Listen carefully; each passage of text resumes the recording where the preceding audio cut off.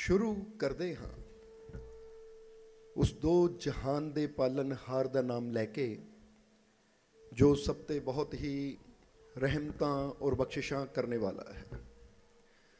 ਅੱਜ ਦੇ ਸਤਸੰਗ ਦੀ ਸ਼ੁਰੂਆਤ ਅਸੀਂ ਇੱਕ ਛੋਟੇ ਜਿਹੇ ਸ਼ਬਦ ਤੋਂ ਕਲਾਮ ਤੋਂ ਕਰਾਂਗੇ, ਕਿਉਂਕਿ ਅੱਜ ਦੀ ਜੋ ਸਿਚੁਏਸ਼ਨ ਹੈ, ਕਿ ਜਿਸ ਤਰ੍ਹਾਂ ਦੱਸਿਆ ਕਿ ਅੱਜ ਮਾਲਕਾਂ ਨਾਲ ਪਿਆਰ ਕਰਨ ਵਾਲਾ ਜੀਵ ਹੰਸਰਾਜ, ਉਹਦੀ ਯਾਦ ਵਿੱਚ ਇਹ ਸਤਸੰਗ ਹੋ ਰਿਹਾ ਹੈ।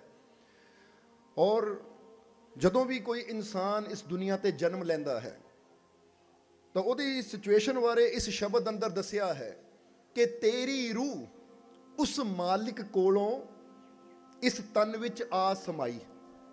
ਕਿਉਂਕਿ ਜਦੋਂ ਇੱਕ ਬੱਚਾ ਮਾਂ ਦੇ ਗਰਭ 'ਚ ਹੁੰਦਾ ਹੈ ਨਾ, ਤਾਂ ਇਹ ਰੂਹ ਆਂਦੀ ਹੈ ਔਰ ਆ ਕੇ ਗਰਭ ਵਿੱਚ ਸਮਾਂਦੀ ਹੈ। ਤਾਂ ਫਿਰ ਬੱਚੇ ਦੀ ਜ਼ਿੰਦਗੀ ਦੀ ਸ਼ੁਰੂਆਤ ਯਾਨੀ ਦਿਲ ਦੀ ਧੜਕਣ ਸ਼ੁਰੂ ਹੁੰਦੀ ਹੈ, ਯਾਨੀ ਜੀਵਨ ਦੀ ਸ਼ੁਰੂਆਤ ਕਦੋਂ ਹੁੰਦੀ ਹੈ?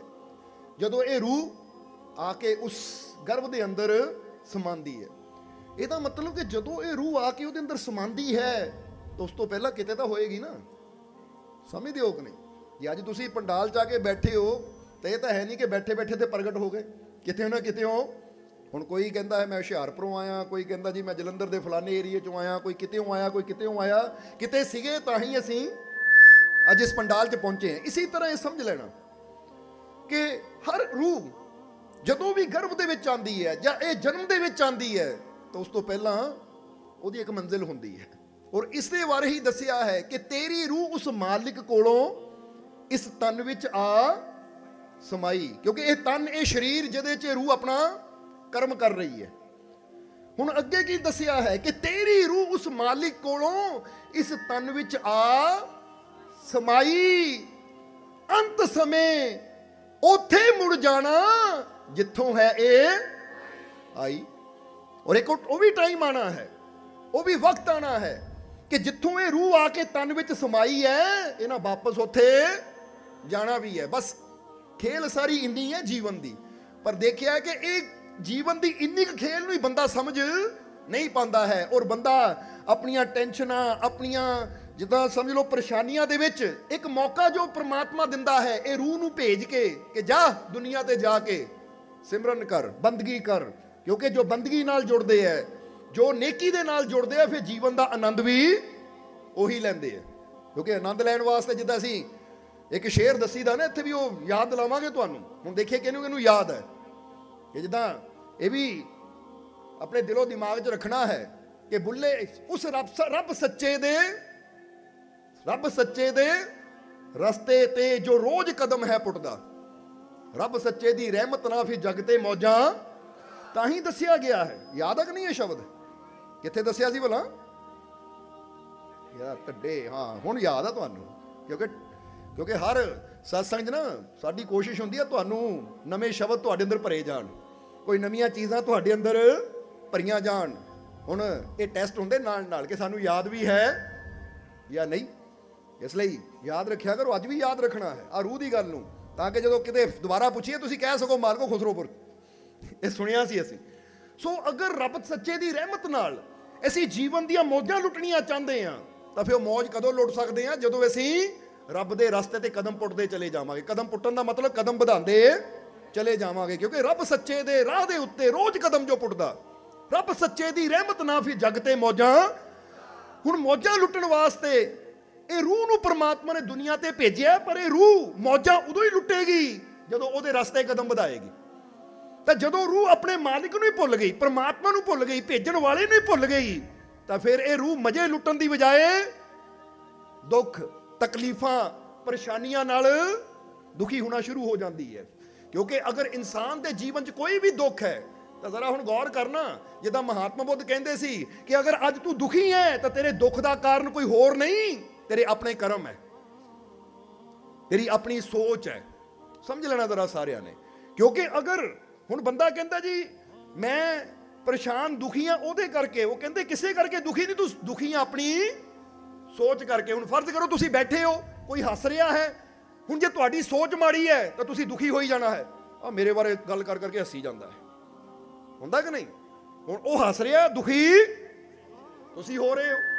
ਉਹ ਜੀ ਮੇਰੇ ਬਾਰੇ ਮੇਰੇ ਵੱਲ ਦੇਖ ਕੇ ਹੱਸੀ ਜਾਂਦਾ ਹੈ, ਉਹ ਮੇਰੀਆਂ ਗੱਲਾਂ ਕਰਕੇ ਹੱਸੀ ਜਾਂਦਾ ਹੈ, ਉਹ ਮੇਰੀ ਨਿੰਦਿਆ ਕਰੀ ਜਾਂਦਾ ਹੈ। ਹੁਣ ਜੇ ਤੁਹਾਡੀ ਸੋਚ ਇਦਾਂ ਦੀ 네ਗੇਟਿਵ ਹੈ, ਤਾਂ ਤੁਸੀਂ ਦੁਖੀ ਹੋਈ ਜਾਓਗੇ। ਤਾਂ ਜੇ ਤੁਹਾਡੀ ਸੋਚ ਪੋਜ਼ਿਟਿਵ ਹੈ, ਫਿਰ ਤੁਸੀਂ ਕੀ ਕਹਿਣਾ? ਉਹ ਹੱਸ ਰਿਹਾ ਮੇਰੇ ਵੱਲ, ਤੇ ਸ਼ੁਕਰ ਹੈ ਪ੍ਰਮਾਤਮਾ ਦਾ ਕਿ ਕਿਸੇ ਦੀ ਖੁਸ਼ੀ ਦਾ ਕਾਰਨ ਤਾਂ ਮੈਂ ਬਣਿਆ। ਸ਼ੁਕਰ ਹੈ। ਐ ਰੱਬਾ, ਮੈਨੂੰ ਇਦਾਂ ਦੀ ਜ਼ਿੰਦਗੀ ਦੇ। ਅੱਜ ਦੋ ਲੋਕ ਹੱਸ ਰਹੇ ਐ। ਕੱਲ ਨੂੰ ਮੈਂ ਹਜ਼ਾਰਾਂ ਨੂੰ ਹਸਾ ਸਕਾਂ। ਹੁਣ ਇਹ ਪੋਜ਼ਿਟਿਵ ਸੋਚ ਹੁੰਦੀ ਹੈ। ਔਰ ਅਗਰ ਕੋਈ ਨਿੰਦਿਆ ਵੀ ਕਰਦਾ ਹੈ, ਤਾਂ ਜਿਨ੍ਹਾਂ ਦੀ ਸੋਚ ਪੋਜ਼ਿਟਿਵ ਹੁੰਦੀ ਹੈ, ਉਹ ਕੀ ਕਹਿੰਦੇ ਐ? ਸ਼ੁਕਰ ਹੈ ਪ੍ਰਮਾਤਮਾ ਦਾ ਸ਼ੁਕਰ ਹੈ ਇਹ ਨਿੰਦਿਆ ਕਰਦੇ ਆ ਮੇਰੀ ਬੁਰਾਈ ਕਰਦੇ ਐ। ਇਹਨਾਂ ਨੇ ਮੇਰੀ ਬੁਰਾਈ ਕਰ ਕਰਕੇ ਮੈਨੂੰ ਤਰਾਸ਼ ਕੇ ਹੀਰਾ ਬਣਾ ਦਿੱਤਾ। ਜੇ ਮੈਨੂੰ ਮੇਰੀਆਂ ਬੁਰਾਈਆਂ ਦਾ ਪਤਾ ਨਾ ਲੱਗਦਾ, ਆਪਣੀਆਂ ਕਮੀਆਂ ਨੂੰ ਮੈਂ ਦੂਰ ਨਾ ਕਰਦਾ, ਤਾਂ ਮੈਂ ਵੀ ਅੱਜ ਪੱਥਰ ਦਾ ਪੱਥਰ ਹੀ ਰਹਿ ਜਾਣਾ ਸੀ। ਸਮਝਣਾ ਜ਼ਰਾ? ਕਿਉਂਕਿ ਕੋਈ ਤਰਾਸ਼ੇਗਾ ਤਾਂ ਮੂਰਤੀ, ਕਹਿ ਦਿਓ, ਫੇਰ ਹੀ ਬਣਦੀ ਹੈ ਨਾ। ਤਾਂ ਜੇ ਕੋਈ ਪੱਥਰ ਨੂੰ ਤਰਾਸ਼ੇਗਾ ਹੀ ਨਹੀਂ, ਕੋਈ ਮਿਲੇਗਾ ਹੀ ਨਹੀਂ ਸੱਟ ਮਾਰਨ ਵਾਲਾ, ਤਾਂ ਪੱਥਰ ਦੀ ਵੈਲਿਊ ਕਦੀ ਵਧੇਗੀ ਨਹੀਂ। ਇਸ ਲਈ ਅਗਰ ਕੋਈ ਤੁਹਾਡੀ ਨਿੰਦਿਆ ਕਰਦਾ ਹੈ, ਅਗਰ ਕੋਈ ਤੁਹਾਡੀ ਚੁਗਲੀ ਕਰਦਾ ਹੈ, ਤਾਂ ਸ਼ੁਕਰ ਕਰੋ। ਉਹ ਆਪਣਾ ਟਾਈਮ ਆਪਣਾ ਵਕਤ, ਆਪਣੀ એનર્ਜੀ ਦੇ ਰਿਹਾ ਹੈ ਤੁਹਾਨੂੰ ਤਰਾਸ਼ਣ ਵਿੱਚ। ਔਰ ਤੁਸੀਂ ਉਹਦੀ ਨਿੰਦਿਆ ਨੂੰ ਸੁਣ ਕੇ ਗੁੱਸਾ ਨਾ ਕਰੋ। ਬਲਕਿ ਕਈ ਵਾਰ ਦੱਸਿਆ, ਅਗਰ ਕਮੀ ਹੈ, ਉਹਦਾ ਸੁਧਾਰ ਕਰੀਏ। ਜੇ ਨਹੀਂ ਹੈ, ਤਾਂ ਮੁਸਕਰਾ ਦਈਏ। ਜਿੱਦਾਂ ਇੱਥੇ ਫਿਰ ਕਵਾਂਗੇ, ਕਿਉਂਕਿ ਫਕੀਰਾਂ ਦੇ ਜੀਵਨ ਦੇ ਨਿਯਮ ਹੀ ਇਹ ਹੁੰਦੇ ਆ। ਅਸੀਂ ਇੱਕ ਕਹਾਣੀ ਦੱਸੀ ਦੀ ਸੀ, ਦਾਤਾ ਗੰਜ ਬਖਸ਼ ਦੀ। ਦੀ ਦਾਤਾ ਗੰਜ ਬਖਸ਼ ਸੀ ਉਹਨਾਂ ਦਾ ਨਾਮ। ਦਾਤਾ ਗੰਜ ਬਖਸ਼ ਜਦੋਂ ਥੋੜੇ ਸਿਆਣੇ ਹੋਏ ਤਾਂ ਸਿਰ ਦੇ ਸਾਰੇ ਵਾਲ ਝੜ ਗਏ। ਪੂਰਾ ਸਿਰ ਉਹਨਾਂ ਦਾ ਰੋਡਾ ਹੋ ਗਿਆ। ਕੀ ਹੋ ਗਿਆ? ਯਾਨੀ ਗੰਜਾ ਹੋ ਗਿਆ। ਨਾਮ ਵੀ ਸੀ ਗੰਜ ਬਖਸ਼ ਵੈਸੇ ਗੰਜ ਦਾ ਮਤਲਬ ਹੁੰਦਾ ਹੈ, ਫਿਰ ਕਹਾਂਗੇ ਜਿੱਦਾਂ ਕਹਿੰਦੇ ਬਾਬਾ ਫਰੀਦ ਗੰਜੇ ਸ਼ੱਕਰ। ਸ਼ੱਕਰ ਦਾ ਮਤਲਬ ਮਿਠਾਸ ਹੁੰਦੀ ਹੈ ਔਰ ਗੰਜ ਦਾ ਮਤਲਬ ਖਾਨ ਹੁੰਦੀ ਹੈ। ਸਮਝਦੇ ਹੋ ਕਿ ਨਹੀਂ? ਗੰਜ ਦਾ ਮਤਲਬ ਕੀ ਹੁੰਦਾ ਮੇਨ ਖਾਨ। ਇਸ ਲਈ ਪਰ ਬੰਦਾ ਪੰਜਾਬੀ ਚ ਕਹਿੰਦਾ ਬੰਦਾ ਗੰਜਾ ਹੋ ਗਿਆ। ਉਹ ਗੰਜ ਅਲੱਗ ਚੀਜ਼ ਹੈ, ਪਰ ਜਿਹੜਾ ਫਕੀਰਾਂ ਨੂੰ ਗੰਜ ਕਿਹਾ ਜਾਂਦਾ ਹੈ ਨਾ, ਜਿੱਦਾਂ ਹੁਣ ਬਾਬਾ ਫਰੀਦ ਨੂੰ ਕਿਹਾ ਮਿਠਾਸ ਦੀ ਖਾਨ, ਤਾਂ ਦਾਤਾ ਗੰਜੇ ਬਖਸ਼ ਗੰਜੇ ਬਖਸ਼ ਨੂੰ ਕਿਹਾ ਜਾਂਦਾ ਹੈ, ਇਹ ਬਖਸ਼ਿਸ਼ਾਂ ਦੀ ਖਾਨ ਹੈ। ਬੜੇ ਤੋਂ ਬੜਾ ਗੁਨਾਹਗਾਰ ਵੀ ਇਹਨਾਂ ਕੋਲ ਚਲਾ ਜਾਂਦਾ, ਉਹਨੂੰ ਵੀ ਬਖਸ਼ ਦਿੰਦੇ ਆ। ਇਸ ਲਈ ਉਹਨਾਂ ਨੂੰ ਨਾਮ ਹੀ ਪੈ ਗਿਆ ਗੰਜੇ ਬਖਸ਼। ਦਾਤਾ? ਗੰਜੇ ਬਖਸ਼, ਗੰਜ ਬਖਸ਼ ਵੀ ਕਿਹਾ ਜਾਂਦਾ ਸੀ। ਹੁਣ ਉਹਨਾਂ ਦੀ ਜੀਵਨ ਦੀ ਬੜੀ ਪਿਆਰੀ ਘਟਨਾ ਹੈ। ਇੱਕ ਦਿਨ ਕਸ਼ਤੀ 'ਚ ਬੈਠੇ ਜਾ ਰਹੇ ਸੀ। ਇੱਕ ਦਰਿਆ ਪਾਰ ਕਰਨਾ ਸੀ ਔਰ ਕਸ਼ਤੀ 'ਚ ਬੈਠੇ ਜਾ ਰਿਹਾ, ਮਲਾਹ ਚਲਾ ਰਿਹਾ ਤੇ ਨਾਲ ਉਹਨਾਂ ਦੇ ਸੇਵਕ ਹੈ। ਤਾਂ ਧੁੱਪ ਨਿਕਲੀ ਹੋਈ ਹੈ। ਇਦਾਂ ਦੇ ਸਰਦੀਆਂ ਦੇ ਦਿਨ ਸੀ। ਤਾਂ ਉਹਨਾਂ ਨੇ ਜਦੋਂ ਦੇਖਿਆ ਕਿ ਧੁੱਪ ਨਿਕਲੀ ਹੋਈ ਹੈ, ਤਾਂ ਆਪਣੇ ਸਿਰ ਤੋਂ ਇਮਾਮਾ ਹਟਾ ਦਿੱਤਾ। ਜੋ ਕਪੜਾ ਬੰਨਿਆ ਸੀ, ਹਟਾ ਦਿੱਤਾ। ਜਦੋਂ ਕਪੜਾ ਹਟਾਇਆ ਤਾਂ ਹੁਣ ਸੂਰਜ ਚਮਕ ਰਿਹਾ ਸੀ ਤਾਂ ਉਹਨੇ ਟਿੰਡ ਚਮਕ ਉੱਠੀ, ਕਿਉਂਕਿ ਜਦੋਂ ਟਿੰਡ ਸਾਫ਼ ਹੋਵੇ ਨਾ ਤਾਂ ਬੜੀ ਚਮਕਦੀ ਹੈ। ਹੁਣ ਉਹ ਚਮਕਣ ਲੱਗ ਗਈ, ਯਾਨੀ ਲਿਸ਼ਕਾਰਾ ਪਵੇ ਉਹਦੇ ਚੋਂ। ਤਾਂ ਨਾਲ ਹੀ ਇੱਕ ਕਸ਼ਤੀ ਹੋਰ ਜਾ ਰਹੀ ਸੀ, ਜਿਹਦੇ 'ਚ ਕੁਝ ਨੌਜਵਾਨ ਬੈਠੇ ਸੀ। ਨੌਜਵਾਨ, ਜਿਹਨਾਂ ਦੀ ਉਮਰ ਸਮਝ ਲਓ 24 25 ਸਾਲ ਦੀ। ਹੁਣ ਨੌਜਵਾਨਾਂ ਨੂੰ ਮੌਕਾ ਮਿਲਿਆ, ਨਾਲ ਨਾਲ ਕਸ਼ਤੀ ਜਾ ਰਹੀ ਹੈ। ਤਾਂ ਨੌਜਵਾਨਾਂ ਨੂੰ ਮੌਕਾ ਮਿਲਿਆ, ਉਹ ਕਹਿੰਦੇ ਦੇਖਦੇ ਬਾਬੇ ਦੀ ਟਿੰਡ ਕਿੱਦਾਂ ਚਮਕਦੀ ਹੈ। ਮਜ਼ਾਕ ਉਡਾਉਣ ਲੱਪੇ ਉਹ। ਕਿਉਂਕਿ ਕਈ ਫਕੀਰਾਂ ਦੇ ਰੁਤਬੇ ਨੂੰ ਨਹੀਂ ਸਮਝਦੇ। ਬਸ ਫਕੀਰਾਂ ਨੂੰ ਉਹ ਉਪਹਾਸ ਜਾਂ ਉਹਨਾਂ ਦਾ ਮਜ਼ਾਕ ਉਡਾਉਂਦੇ ਆ। ਉਹਨਾਂ ਨੂੰ ਕਿਸੇ ਨਾ ਕਿਸੇ ਤਰ੍ਹਾਂ ਸ਼ਰਮਿੰਦਾ ਕਰਨ ਦੀ ਕੋਸ਼ਿਸ਼ ਕਰਦੇ, ਪਰ ਜਿਹੜੇ ਰੱਬ ਦੇ ਫਕੀਰ ਹੁੰਦੇ ਆ, ਉਹ ਪਰਵਾਹ ਨਹੀਂ ਕਰਦੇ। ਹੁਣ ਜਦੋਂ ਨੌਜਵਾਨ ਉੱਚੀ ਉੱਚੀ ਕਹਿਣ ਲੱਗੇ, ਉਹ ਦੇਖੋ ਉਹ ਦੇਖੋ ਉਹ ਦੇਖੋ, ਇਸ਼ਾਰੇ ਕਰ ਕਰਕੇ, ਉਹ ਦੇਖ ਬਾਬੇ ਦੀ ਟਿੰਡ ਕਿੱਦਾਂ ਚਮਕਦੀ ਹੈ ਕਿੱਦਾਂ ਲਿਸ਼ਕਾ ਮਾਰਦੀ ਹੈ ਦੇਖ ਕਿੱਦਾਂ ਗੰਜ ਚਮਕਦੀ ਹੈ ਹੁਣ ਜਦੋਂ ਇੰਨੀ ਗੱਲ ਕਹੀ, ਦਾਤਾ ਗੰਜ ਬਖਸ਼ ਤਾਂ ਦੇਖ ਕੇ ਮੁਸਕਰਾਏ। ਪਰ ਜਿਹੜੇ ਉਹਨਾਂ ਦੇ ਸੇਵਾਦਾਰ ਸੀ ਨਾ ਨਾਲ ਬੈਠੇ, ਉਹਨਾਂ ਨੂੰ ਬੜਾ ਤਕਲੀਫ ਹੋਈ ਕਿ ਸਾਡੇ ਮੁਰਸ਼ਦ ਦੀ ਬੇਇੱਜ਼ਤੀ ਕਰੀ ਜਾਂਦੇ ਆ, ਸਾਡੇ ਮੁਰਸ਼ਦ ਦਾ ਮਜ਼ਾਕ ਉਡਾਈ ਜਾਂਦੇ ਆ। ਵੀ ਉਹਨਾਂ ਨੂੰ ਤਕਲੀਫ ਹੋਈ। ਤਾਂ ਉਹਨਾਂ ਨੇ ਦਾਤਾ ਗੰਜ ਬਖਸ਼ ਜੀ ਨੂੰ ਕਿਹਾ ਕਿ ਹਜ਼ੂਰ, ਉਹ ਦੇਖੋ ਆ ਨੌਜਵਾਨ ਆ ਜਿਹੜੇ ਨਾਲ ਦੀ ਕਸ਼ਤੀ 'ਚ ਬੈਠੇ, ਇਹ ਤੁਹਾਡਾ ਮਜ਼ਾਕ ਉਡਾ ਰਹੇ ਔਰ ਸਾਡੇ ਤੋਂ ਬਰਦਾਸ਼ਤ ਨਹੀਂ ਹੁੰਦਾ। ਸੋ ਮਾਰੇ ਦੁਆ ਕਰੋ ਇਹਨਾਂ ਦੀ ਕਸ਼ਤੀ ਉਲਟ ਜਾਵੇ ਤਾਂ ਦਰਿਆ 'ਚ ਸਾਰੇ ਡੁੱਬ ਕੇ ਮਰ ਜਾਣੇ। ਕੀ ਕੀ ਕਿਹਾ ਉਹਨਾਂ ਨੇ? ਦੁਆ ਕਰੋ, ਰੱਬ ਅੱਗੇ ਅਰਦਾਸ ਕਰੋ, ਕਿਉਂਕਿ ਫਕੀਰਾਂ ਦੀ ਦੁਆ ਕਦੀ ਵਿਅਰਥ ਨਹੀਂ ਜਾਂਦੀ। ਇਸ ਲਈ ਦੁਆ ਕਰੋ ਕਿ ਇਹ ਸਾਰੇ ਨੌਜਵਾਨ ਡੁੱਬ ਕੇ ਮਰ ਜਾਣ। ਇਹਨਾਂ ਨੂੰ ਸਜ਼ਾ ਮਿਲੇ, ਕਿਉਂਕਿ ਇੱਕ ਫਕੀਰ ਦਾ ਮਜ਼ਾਕ ਉਡਾਉਂਦੇ ਆ। ਤਾਂ ਦਾਤਾ ਗੰਜ ਬਖਸ਼ ਮੁਸਕਰਾਏ। ਔਰ ਮੁਸਕਰਾ ਕੇ ਉਹ ਕਹਿੰਦੇ, ਦੁਆ ਕਰੀਏ? ਕਹਿੰਦੇ, ਹਾਂਜੀ, ਕਰੋ ਇਹਨਾਂ ਵਾਸਤੇ ਦੁਆ, ਤਾਂ ਕਿ ਇਹਨਾਂ ਦੀ ਕਸ਼ਤੀ ਡੁੱਬ ਜਾਵੇ। ਦਾਤਾ ਬੰ- ਗੰਜ ਬਖਸ਼ ਨੇ ਹੱਥ ਉਠਾਏ। ਔਰ ਹੱਥ ਉਠਾ ਕੇ ਕੀ ਕਿਹਾ? ਕਿ, ਐ ਖੁਦਾ ਐ ਮੇਰੇ ਮਾਲਿਕ ਆ ਜਿਹੜੇ ਨੌਜਵਾਨ ਹੱਸ ਰਹੇ ਐ, ਇਹਨਾਂ ਦੀ ਜ਼ਿੰਦਗੀ 'ਚ ਹੋਰ ਖੁਸ਼ੀਆਂ ਭਰ ਦੇ। ਇਹਨਾਂ ਨੂੰ ਹੋਰ ਖੁਸ਼ੀ ਦੇ, ਤਾਂ ਕਿ ਜ਼ਿੰਦਗੀ 'ਚ ਸਦਾ ਜਿੱਦਾਂ ਅੱਜ ਹੱਸ ਰਹੇ ਐ, ਜਿੱਦਾਂ ਇਸ ਵੇਲੇ ਇਹਨਾਂ ਦੇ ਚਿਹਰੇ ਤੇ ਮੁਸਕਰਾਹਟ ਹੈ ਅੱਜ ਇਸ ਫਕੀਰ ਨੂੰ ਦੇਖ ਕੇ ਹੱਸ ਰਹੇ ਐ, ਤੇ ਫਕੀਰ ਦੀ ਦੁਆ ਹੈ, ਇੰਨੀ ਰਹਿਮਤ ਕਰ, ਇਹ ਸਦਾ ਹੀ ਹੱਸਦੇ ਰਹਿਣ, ਸਦਾ ਹੀ ਖੁਸ਼ ਰਹਿਣ। ਉਹ ਸੇਵਕ ਕਹਿੰਦੇ, ਅਸੀਂ ਦੁਆ ਕਰ ਰਹੇ ਹਾਂ ਇਹਨਾਂ ਨੂੰ ਬਰਬਾਦ ਕਰਨ ਦੀ, ਕਿ ਇਹ ਮਰ ਜਾਣ, ਮਜ਼ਾਕ ਉਡਾ ਰਹੇ ਸਾਡੇ ਮੁਰਸ਼ਿਦ ਦਾ, ਤਾਂ ਤੁਸੀਂ ਇਹਨਾਂ ਦੀ ਖੁਸ਼ੀ ਦੀ ਦੁਆ ਕਰ ਰਹੇ ਹੋ? ਉਸ ਵੇਲੇ ਦਾਦਾ ਗੰਜ ਬਖਸ਼ ਨੇ ਕਿਹਾ, ਉਹ ਭਾਈ, ਸ਼ੁਕਰ ਹੈ ਸ਼ੁਕਰ ਹੈ, ਇਹ ਫਕੀਰ ਕਿਸੇ ਨੂੰ ਹਸਾਨ ਦੇ ਕੰਮ ਤਾਂ ਆਇਆ। ਸਮਝਦੇ ਹੋ ਕਿ ਨਹੀਂ? ਤਾਂ ਜੇ ਮੈਨੂੰ ਦੇਖ ਕੇ ਹੱਸ ਰਹੇ ਹੈ, ਤਾਂ ਮੇਰਾ ਦਿਲ ਵੀ ਬੜਾ ਖੁਸ਼ ਹੈ ਕਿ ਮੈਂ ਤਾਂ ਇਹ ਚਾਹੁੰਦਾ ਕਿ ਉਹ ਮੇਰਾ ਰੱਬ ਇਹਨਾਂ ਦੀ ਜ਼ਿੰਦਗੀ ਨੂੰ ਖੁਸ਼ੀਆਂ ਨਾਲ ਭਰ ਦੇਵੇ। ਹੁਣ ਕਿਹਾ ਜਾਂਦਾ, ਜਦੋਂ ਇਹ ਦੁਆ ਹੋਈ ਨਾ, ਇਹ ਦੁਆ ਹੋਈ ਤਾਂ ਫਿਰ ਕੀ ਹੋਇਆ? ਜਿੱਦਾਂ ਹੀ ਦਾਤਾ ਗੰਜ ਬਖਸ਼ ਦੀ ਕਸ਼ਤੀ ਕਿਨਾਰੇ ਲੱਗੀ ਔਰ ਉਹ ਨੌਜਵਾਨ ਵੀ ਜਿਹੜੇ ਅਲੱਗ ਕਸ਼ਤੀ 'ਚ ਸੀ, ਉਹਨਾਂ ਦੀ ਕਸ਼ਤੀ ਵੀ ਕਿਨਾਰੇ ਲੱਗੀ। ਜਿੱਦਾਂ ਹੀ ਦਾਤਾ ਗੰਜ ਬਖਸ਼ ਉਤਰੇ, ਉਤਰ ਕੇ ਚੱਲਣ ਲੱਗੇ ਆਪਣੀ ਮੰਜ਼ਿਲ ਦੀ ਤਰਫ, ਉਹ ਨੌਜਵਾਨ ਆਏ ਔਰ ਆ ਕੇ ਚਰਨ ਫੜ ਲਏ। ਦਾਤਾ ਗੰਜ ਬਖਸ਼ ਦੇ। ਚਰਨ ਫੜ ਲਏ। ਕਹਿੰਦੇ, ਹਜ਼ਰਤ, ਸਾਡੇ ਤੋਂ ਬਹੁਤ ਬੜੀ ਭੁੱਲ ਹੋ ਗਈ ਕਿ ਅਸੀਂ ਤੁਹਾਡਾ ਮਜ਼ਾਕ ਉਡਾਇਆ। ਪਰ ਅੱਜ ਉਹ ਕਸ਼ਤੀ 'ਚ ਅਸੀਂ ਸੁਣਿਆ ਕਿ ਤੁਹਾਡੇ ਸੇਵਾਦਾਰ ਗੁੱਸੇ 'ਚ ਸੀ। ਬਦਦੁਆ ਮੰਗ ਰਹੇ ਸੀ, ਪਰ ਤੁਸੀਂ ਸਾਡੀ ਖੁਸ਼ੀ ਦੀ ਦੁਆ ਮੰਗੀ। ਤਾਂ ਸਾਡਾ ਦਿਲ ਨਾ ਬੜਾ ਹੋਇਆ ਕਿ ਦੱਸ, ਅਸੀਂ ਉਸ ਫਕੀਰ ਦਾ ਮਜ਼ਾਕ ਉਡਾ ਰਹੇ ਤਾਂ ਫਕੀਰ ਨੂੰ ਸਾਡੀ ਖੁਸ਼ੀ ਦੀ ਇੰਨੀ ਫਿਕਰ ਹੈ। ਉਹ ਫਕੀਰ ਸਾਡੀ ਖੁਸ਼ੀ ਵਾਸਤੇ ਦੁਆਵਾਂ ਕਰ ਰਿਹਾ ਹੈ। ਸੋ ਮਹਾਰਾਜ, ਮੈਂ ਸਾਨੂੰ ਮਾਫ ਕਰ ਦਿਓ। ਮਾਫ ਕਰ ਦਿਓ। ਅਸੀਂ ਐਸਾ ਫਕੀਰ ਨਹੀਂ ਦੇਖਿਆ ਕਿ ਜਿਹੜਾ ਬੇਇੱਜ਼ਤੀ ਸਹਿ ਕੇ ਵੀ ਦੁਆਵਾਂ ਦਿੰਦਾ ਹੈ। ਸੋ ਸਾਨੂੰ ਆਪਣਾ ਹੀ ਬਣਾ ਲਓ। ਆਪਣੇ ਕਦਮਾਂ ਨਾਲ ਜੋੜ ਲਓ। ਜਦੋਂ ਬੇਨਤੀ ਕੀਤੀ ਤਾਂ ਦਾਤਾ ਗੰਜ ਬਖਸ਼ ਨੇ ਹੱਥ ਉਠਾਏ। ਐ ਖੁਦਾਏ ਕੀ? ਹਾਲੇ ਥੋੜੀ ਦੇਰ ਪਹਿਲਾਂ ਇਸ ਫਕੀਰ ਦਾ ਮਜ਼ਾਕ ਉਡਾ ਰਹੇ ਸੀ, ਤਾਂ ਹੁਣ ਇਹ ਫਕੀਰ ਦੇ ਸ਼ਰਨ ਵਿੱਚ ਆ ਗਏ।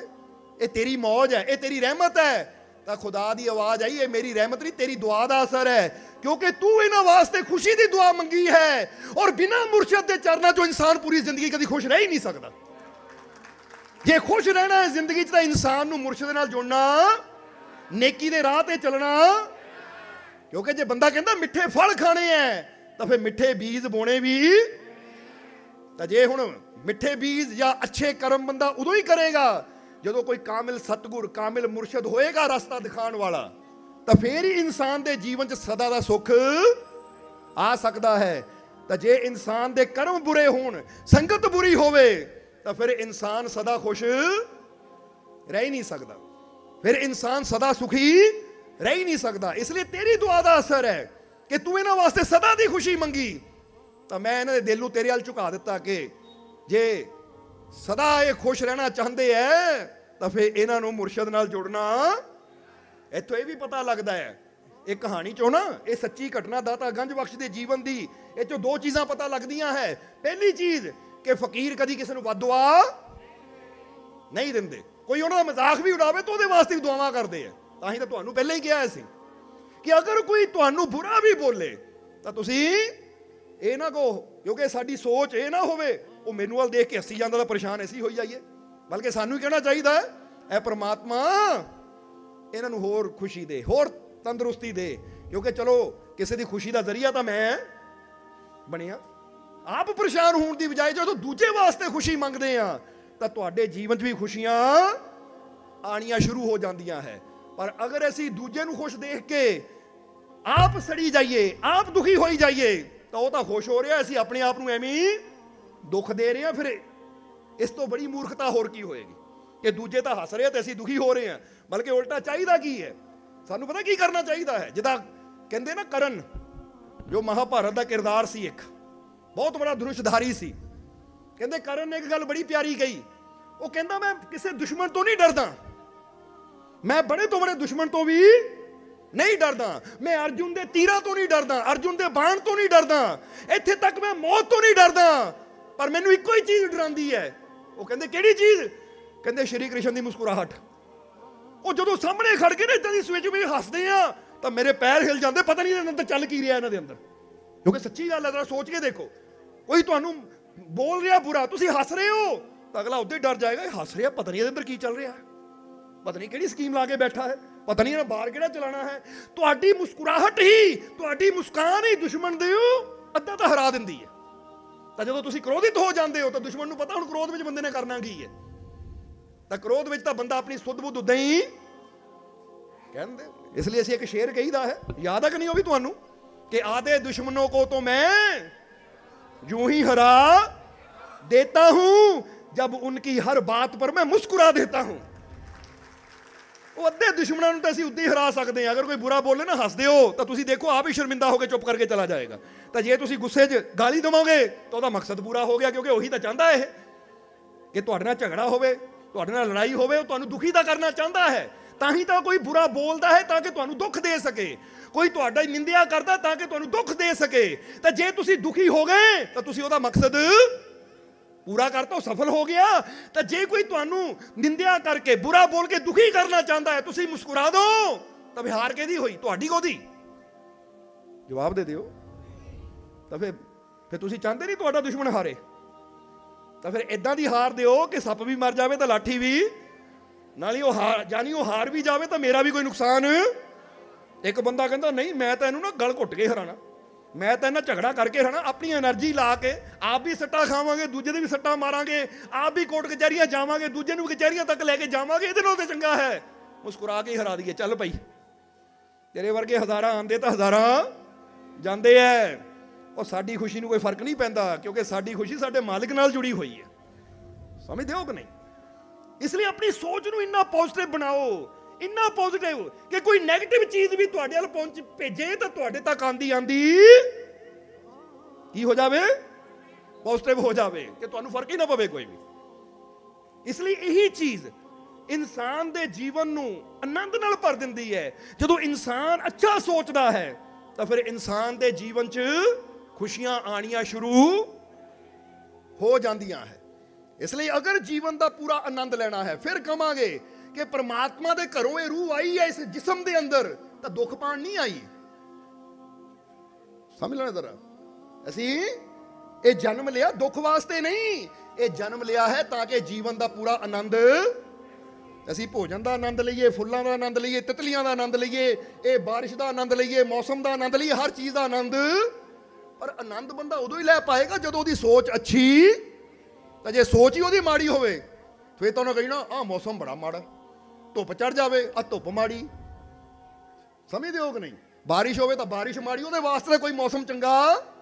ਕਿਉਂਕਿ ਉਹਨੇ ਹਰ ਵਿੱਚ ਕੋਈ ਨਾ ਕੋਈ ਨਿੰਦਿਆ ਕਰਨੀ ਹੈ। ਤਾਂ ਜਿਹਦੀ ਸੋਚ ਅੱਛੀ ਹੈ, ਉਹ ਸ਼ੁਕਰ ਕਰਦਾ ਕਿ ਸ਼ੁਕਰ ਹੈ ਮੇਰੇ ਮਾਲਿਕ, ਇਹ ਜ਼ਿੰਦਗੀ ਦੇਣ ਵਾਸਤੇ, ਸ਼ੁਕਰ ਹੈ ਇਸ ਬਰਸਾਤ ਵਾਸਤੇ, ਸ਼ੁਕਰ ਹੈ ਧੁੰਦ ਵਾਸਤੇ, ਠੰਡ ਵਾਸਤੇ, ਗਰਮੀ ਵਾਸਤੇ, ਸ਼ੁਕਰ ਹੈ, ਕਿਉਂਕਿ ਮੌਸਮ ਹੈ, ਤਾਂ ਹੀ ਤਾਂ ਅਸੀਂ ਆਨੰਦ, ਉਹ ਹਰ ਚੀਜ਼ ਦਾ ਆਨੰਦ ਲੈਣਾ ਹੈ ਅਸੀਂ। ਸਮਝਦੇ ਹੋ ਕਿ ਨਹੀਂ? ਹਰ ਚੀਜ਼ ਦਾ।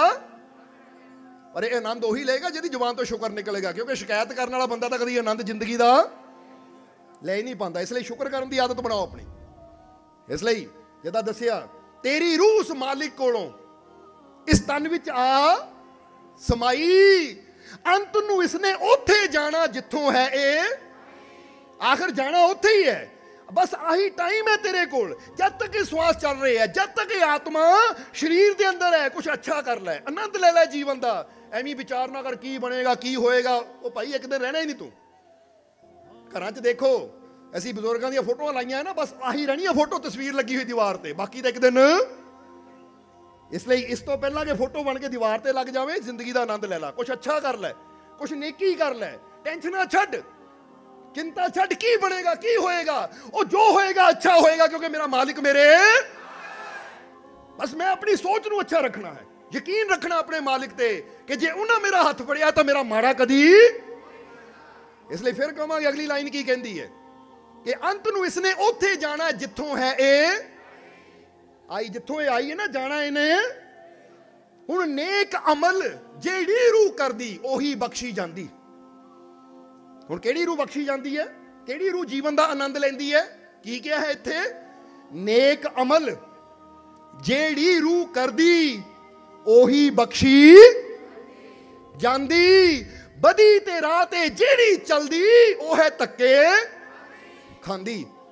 ਕਿਉਂਕਿ ਅਗਰ ਇਹ ਰੂਹ ਨੇ ਆਨੰਦ ਲੈਣਾ ਹੈ, ਤਾਂ ਕਹਿੰਦੇ ਆ ਰੂਹੇ ਤੂੰ ਰੱਬ ਦੀਆਂ ਰਹਿਮਤਾਂ ਦਾ, ਇਹ ਰੱਬ ਦੇ ਬਣਾਏ ਸੰਸਾਰ ਦਾ, ਇਹ ਰੱਬ ਦੀਆਂ ਦਿੱਤੀਆਂ ਦਾਤਾਂ ਦਾ ਆਨੰਦ ਫੇਰ ਹੀ ਲੈ ਸਕਦੀ ਹੈ ਅਗਰ ਤੂੰ ਨੇਕੀ ਦੇ ਰਾਹ ਤੇ ਚੱਲੇ, ਨੇਕ ਅਮਲ, ਅਗਰ ਤੂੰ ਨੇਕ ਅਮਲ ਕਰੇ, ਨੇਕੀ ਦੇ ਰਸਤੇ ਚੱਲੇ, ਤਾਂ ਫਿਰ ਹੀ ਤੂੰ ਬਖਸ਼ੀ ਜਾਏਗੀ, ਫੇਰ ਹੀ ਰੱਬ ਦੀਆਂ ਬਖਸ਼ਿਸ਼ਾਂ ਪਾਏਗੀ, ਫੇਰ ਹੀ ਰੱਬ ਦੀਆਂ ਰਹਿਮਤਾਂ ਹਾਸਲ ਕਰੇਗੀ, ਫੇਰ ਹੀ ਤੈਨੂੰ ਕਾਮਯਾਬੀ ਮਿਲੇਗੀ ਅਗਰ ਤੂੰ ਨੇਕੀ ਦੇ ਰਾਹ ਤੇ ਚਲੇਗੀ। ਕਿਉਂਕਿ ਨੇਕ ਅਮਲ ਹੈ ਜਿਹੜੀ ਰੂਹ ਕਰਦੀ, ਉਹੀ ਬਖਸ਼ੀ। ਹੁਣ ਬਖਸ਼ੀ ਦਾ ਮਤਲਬ ਕੀ ਹੁੰਦਾ? ਇੱਕ ਬੰਦਾ ਕਹਿੰਦਾ, ਗੁਨਾਹਗਾਰਾਂ ਨੂੰ ਬਖਸ਼ਿਸ਼ ਮਿਲਦੀ ਹੈ। ਪਰ ਬਖਸ਼ੀ ਵਿੱਚ ਗੱਲੀ ਗੁਨਾਹਾਂ ਦੀ ਬਖਸ਼ਿਸ਼ ਨਹੀਂ ਹੈ। ਬਖਸ਼ਿਸ਼ ਦੇ ਵਿੱਚ ਉਹਦੀਆਂ ਦਾਤਾਂ ਵੀ ਆਉਂਦੀਆਂ ਹੈ। ਜਿੱਦਾਂ ਕਹਿੰਦੇ, ਦਾਤਾ ਬਖਸ਼ ਦੇ। ਮੇਰਾ ਮਾਲਕ ਮੈਨੂੰ ਦਾਤਾਂ ਦਿੰਦਾ ਹੈ, ਬਖਸ਼ਦਾ ਹੈ। ਮੇਰੀਆਂ ਝੋਲੀਆਂ ਖੁਸ਼ੀਆਂ ਨਾਲ। ਉਹ ਕਹਿੰਦੇ, ਜਿਹੜੀ ਰੂਹ ਨੇਕੀ ਦੇ ਮਾਰਗ ਤੇ ਚੱਲਦੀ ਹੈ, ਉਹਨੂੰ ਬਖਸ਼ਿਸ਼ ਵੀ ਮਿਲਦੀ ਹੈ, ਤਾਂ ਬਖਸ਼ੀ ਵੀ ਬਖਸ਼ਿਸ਼ ਮਿਲਦੀ ਹੈ ਜਾਨੀ। ਹਰ ਖੁਸ਼ੀ ਵੀ ਮਿਲਦੀ ਹੈ, ਕਾਮਯਾਬੀ ਵੀ ਮਿਲਦੀ ਹੈ। ਸਫਲਤਾ ਵੀ ਮਿਲਦੀ ਹੈ ਔਰ ਜਦੋਂ ਫਿਰ ਇਹ ਰੂਹ ਦਾ ਸਾਹਮਣਾ ਪ੍ਰਮਾਤਮਾ ਨਾਲ ਹੁੰਦਾ ਹੈ, ਰੂਹ ਉੱਥੇ ਜਾਂਦੀ ਹੈ ਤਾਂ ਬਖਸ਼ੀ ਵੀ। ਕਿਉਂਕਿ ਰੱਬ ਕਹਿੰਦਾ, ਤੂੰ ਨੇਕ ਅਮਲ ਕਰਕੇ ਆਇਆ ਹੈ। ਇਸ ਲਈ ਉੱਥੇ ਅਮਲਾਂ ਦੇ ਹੋਣੇ ਨੇ। ਬਸ ਫਿਰ, ਹੁਣ ਸਾਰਿਆਂ ਨੂੰ ਪਤਾ ਕਿ ਨਹੀਂ ਇਹ?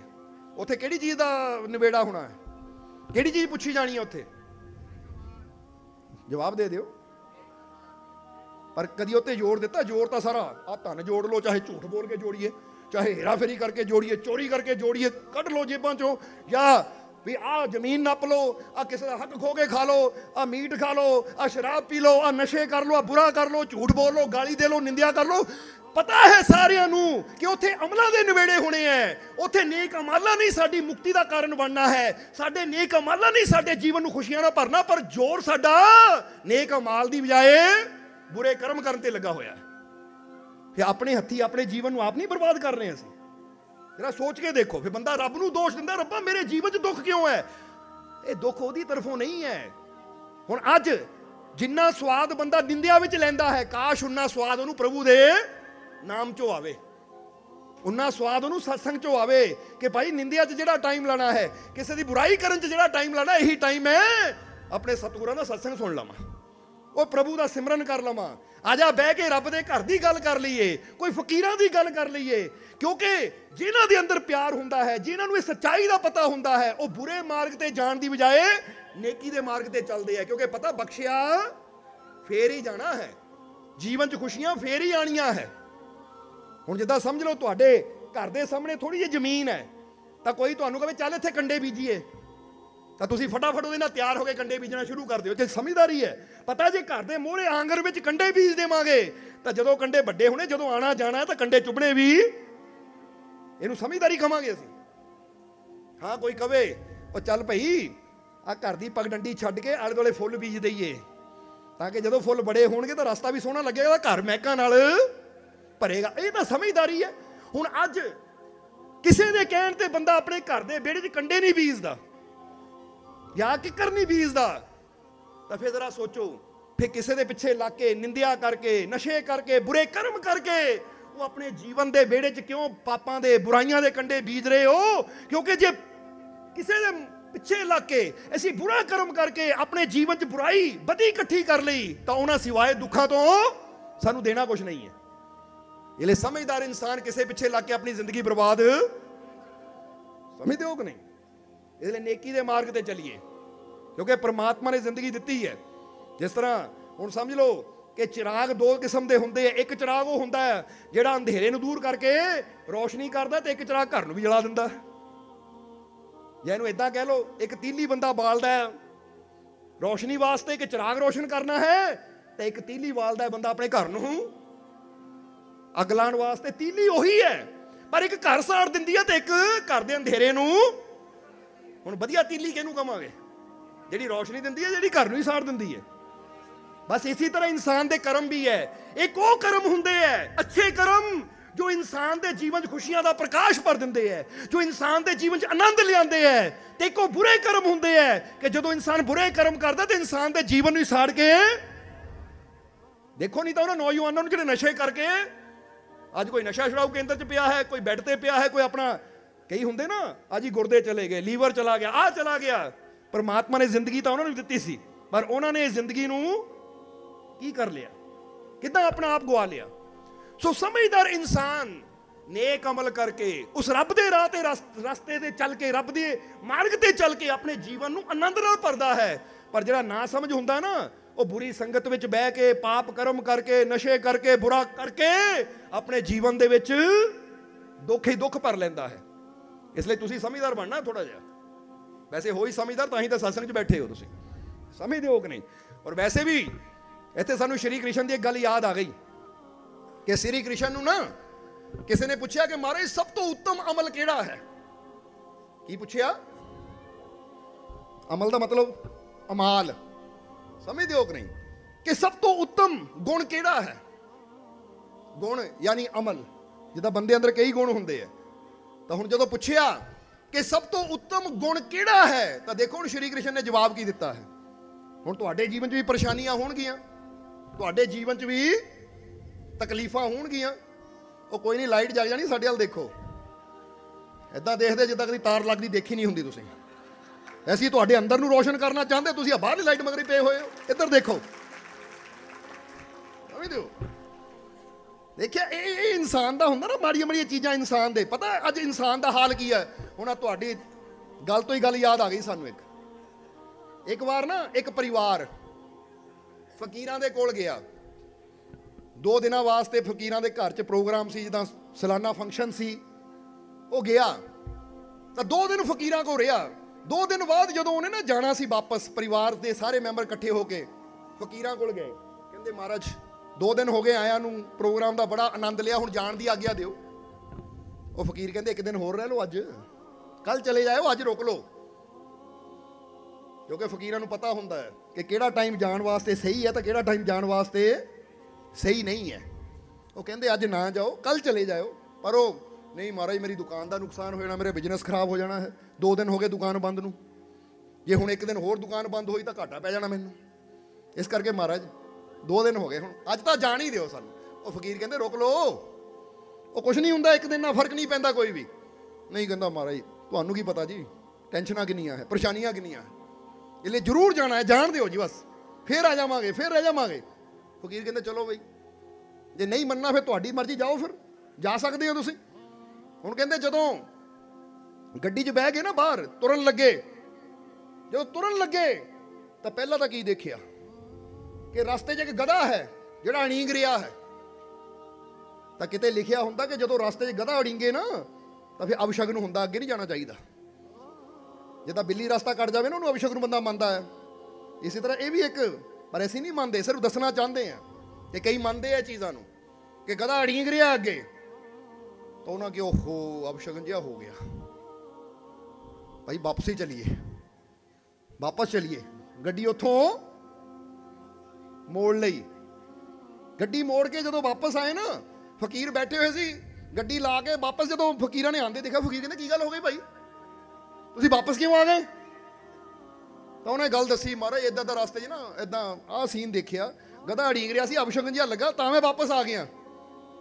ਤਾਂ ਮੈਂ ਵਾਪਸ ਆ ਗਿਆ। ਫਕੀਰ ਕਹਿੰਦੇ, ਅੱਛਾ, ਉਹ ਪਿੱਛੇ ਜਾ ਕੇ ਬਹਿ ਜਾ ਫਿਰ। ਕਹਿੰਦਾ, ਮਹਾਰਾਜ, ਅੱਗੇ ਤਾਂ ਕੋਲ ਬਿਠਾਉਂਦੇ ਸੀ, ਹੁਣ ਪਿੱਛੇ ਕਾਹਨੂੰ ਬਿਠਾਉਣ ਲੱਪੇ ਕਹਿੰਦੇ, ਲੈ, ਤੂੰ ਹੈ ਹੀ ਪਿੱਛੇ ਬੈਠਣ ਦੇ ਲਾਇਕ। ਕਿਉਂਕਿ ਅਸੀਂ ਤੈਨੂੰ ਕਿਹਾ ਨਾ ਜਾ, ਸਾਡੀ ਗੱਲ ਤਾਂ ਮੰਨਣੀ ਗਧੇ ਦੀ ਗੱਲ ਬੜੀ ਜਲਦੀ ਮੰਨ ਲਈ। ਉਹ ਗਧਾ ਮਰੇ ਉਰਿੰਗਿਆ ਉਹਦੀ ਗੱਲ ਮੰਨ ਕੇ ਆ ਗਿਆ। ਅਸੀਂ ਤੈਨੂੰ ਤਿੰਨ ਵਾਰ ਕਿਹਾ, ਨਾ ਜਾ ਨਾ ਜਾ ਨਾ ਜਾ, ਸਾਡੀ ਗੱਲ ਇੱਕ ਵਾਰ ਵੀ। ਭਾਈ, ਰਹਿਮਤ ਫਕੀਰਾਂ ਦੇ ਵਚਨ ਮੰਨਣ ਨਾ ਹੋਣੀ ਆ ਗਧਿਆਂ ਦੇ ਗੱਲ ਮੰਨਣ ਨਾਲ ਨਹੀਂ ਹੋਣੀ। ਕਈ ਵਾਰ ਗਧੇ ਕਹਿ ਦਿੰਦੇ, ਉੱਥੇ ਨਾ ਜਾ, ਉਹ ਫਕੀਰਾਂ ਦੇ ਕੋਲ ਜਾ ਕੇ ਕੀ ਮਿਲਣਾ, ਉਹਨਾਂ ਦੀ ਗੱਲ ਮੰਨ ਲੈਂਦੇ ਅਸੀਂ। ਰੱਬ ਦੇ ਫਕੀਰਾਂ ਦੀ ਗੱਲ। ਗੁਰਬਾਣੀ 'ਚ ਲਿਖਿਆ ਹੁੰਦਾ, ਵਿੱਚ ਸੰਗਤ ਹਰ ਪ੍ਰਭ। ਉਹ ਸਤਸੰਗ ਛੱਡ ਦੇਣਾ ਅਸੀਂ। ਪਰ ਗਧੇ ਦੀ ਗੱਲ ਨਹੀਂ। ਕਿਉਂਕਿ ਜਿਹੜਾ ਸਤਸੰਗ ਚੋਂ ਰੋਕੇ ਜਾਂ ਨਸ਼ਿਆਂ ਵੱਲ ਲੈ ਕੇ ਜਾਵੇ, ਉਹਨੂੰ ਅਸੀਂ ਸਮਝਦਾਰ ਤਾਂ ਕਹਿ ਹੀ ਨਹੀਂ ਸਕਦੇ। ਸਮਝਦੇ ਹੋ ਨਹੀਂ? ਹੁਣ ਇੱਥੇ ਫੇਰ ਆ ਜਾਈਏ। ਚਲੋ ਗਧੇ ਦੀ ਗੱਲ ਚੱਲੀ ਹੈ ਤੇ ਇੱਕ ਸਵਾਲ ਵੀ ਤੁਹਾਨੂੰ ਪੁੱਛ ਲਈਏ ਕਿ ਸਭ ਤੋਂ ਜ਼ਿਆਦਾ ਬੋਝ ਕੌਣ ਉਠਾਉਂਦਾ ਹੈ? ਗਧਾ, ਖੱਚਰ, ਹਾਥੀ, ਘੋੜਾ ਕਿਹੜਾ ਉਠਾਉਂਦਾ ਹੈ? ਖੱਚਰ? ਕਿਹਨੂੰ ਕਿਹਨੂੰ ਲੱਗਦਾ ਖੱਚਰ? ਹੱਥ ਖੜਾ ਕਰੋ ਜਰਾ। ਕਿਹਨੂੰ ਲੱਗਦਾ ਗਧਾ? ਹੈ? ਅੱਛਾ, ਕਿਹਨੂੰ ਲੱਗਦਾ ਹਾਥੀ? ਜਾਨਵਰ ਬਹੁਤ ਹੁੰਦੇ ਆ। ਚਲੋ, ਹੱਥ ਥੱਲੇ ਹੀ ਕਰ ਲਓ। ਤੁਸੀਂ ਸਾਰੇ ਸਹੀ ਹੋ। ਸਾਰੇ ਸਹੀ ਦਾ ਮਤਲਬ ਸਾਰੇ ਸੈੱਟ ਹੀ ਹੋ ਤੁਸੀਂ। ਉਹ ਨਾ ਗਧਾ ਬੋਝ ਉਠਾਉਂਦਾ, ਨਾ ਖੱਚਰ ਉਠਾਉਂਦਾ ਹੈ। ਸਭ ਤੋਂ ਜ਼ਿਆਦਾ ਬੋਝ ਤਾਂ ਇਨਸਾਨ ਉਠਾਉਂਦਾ ਆਪਣੇ ਦਿਮਾਗ ਤੇ। ਬਿਨਾਂ ਮਤਲਬ ਤੋਂ ਹੀ।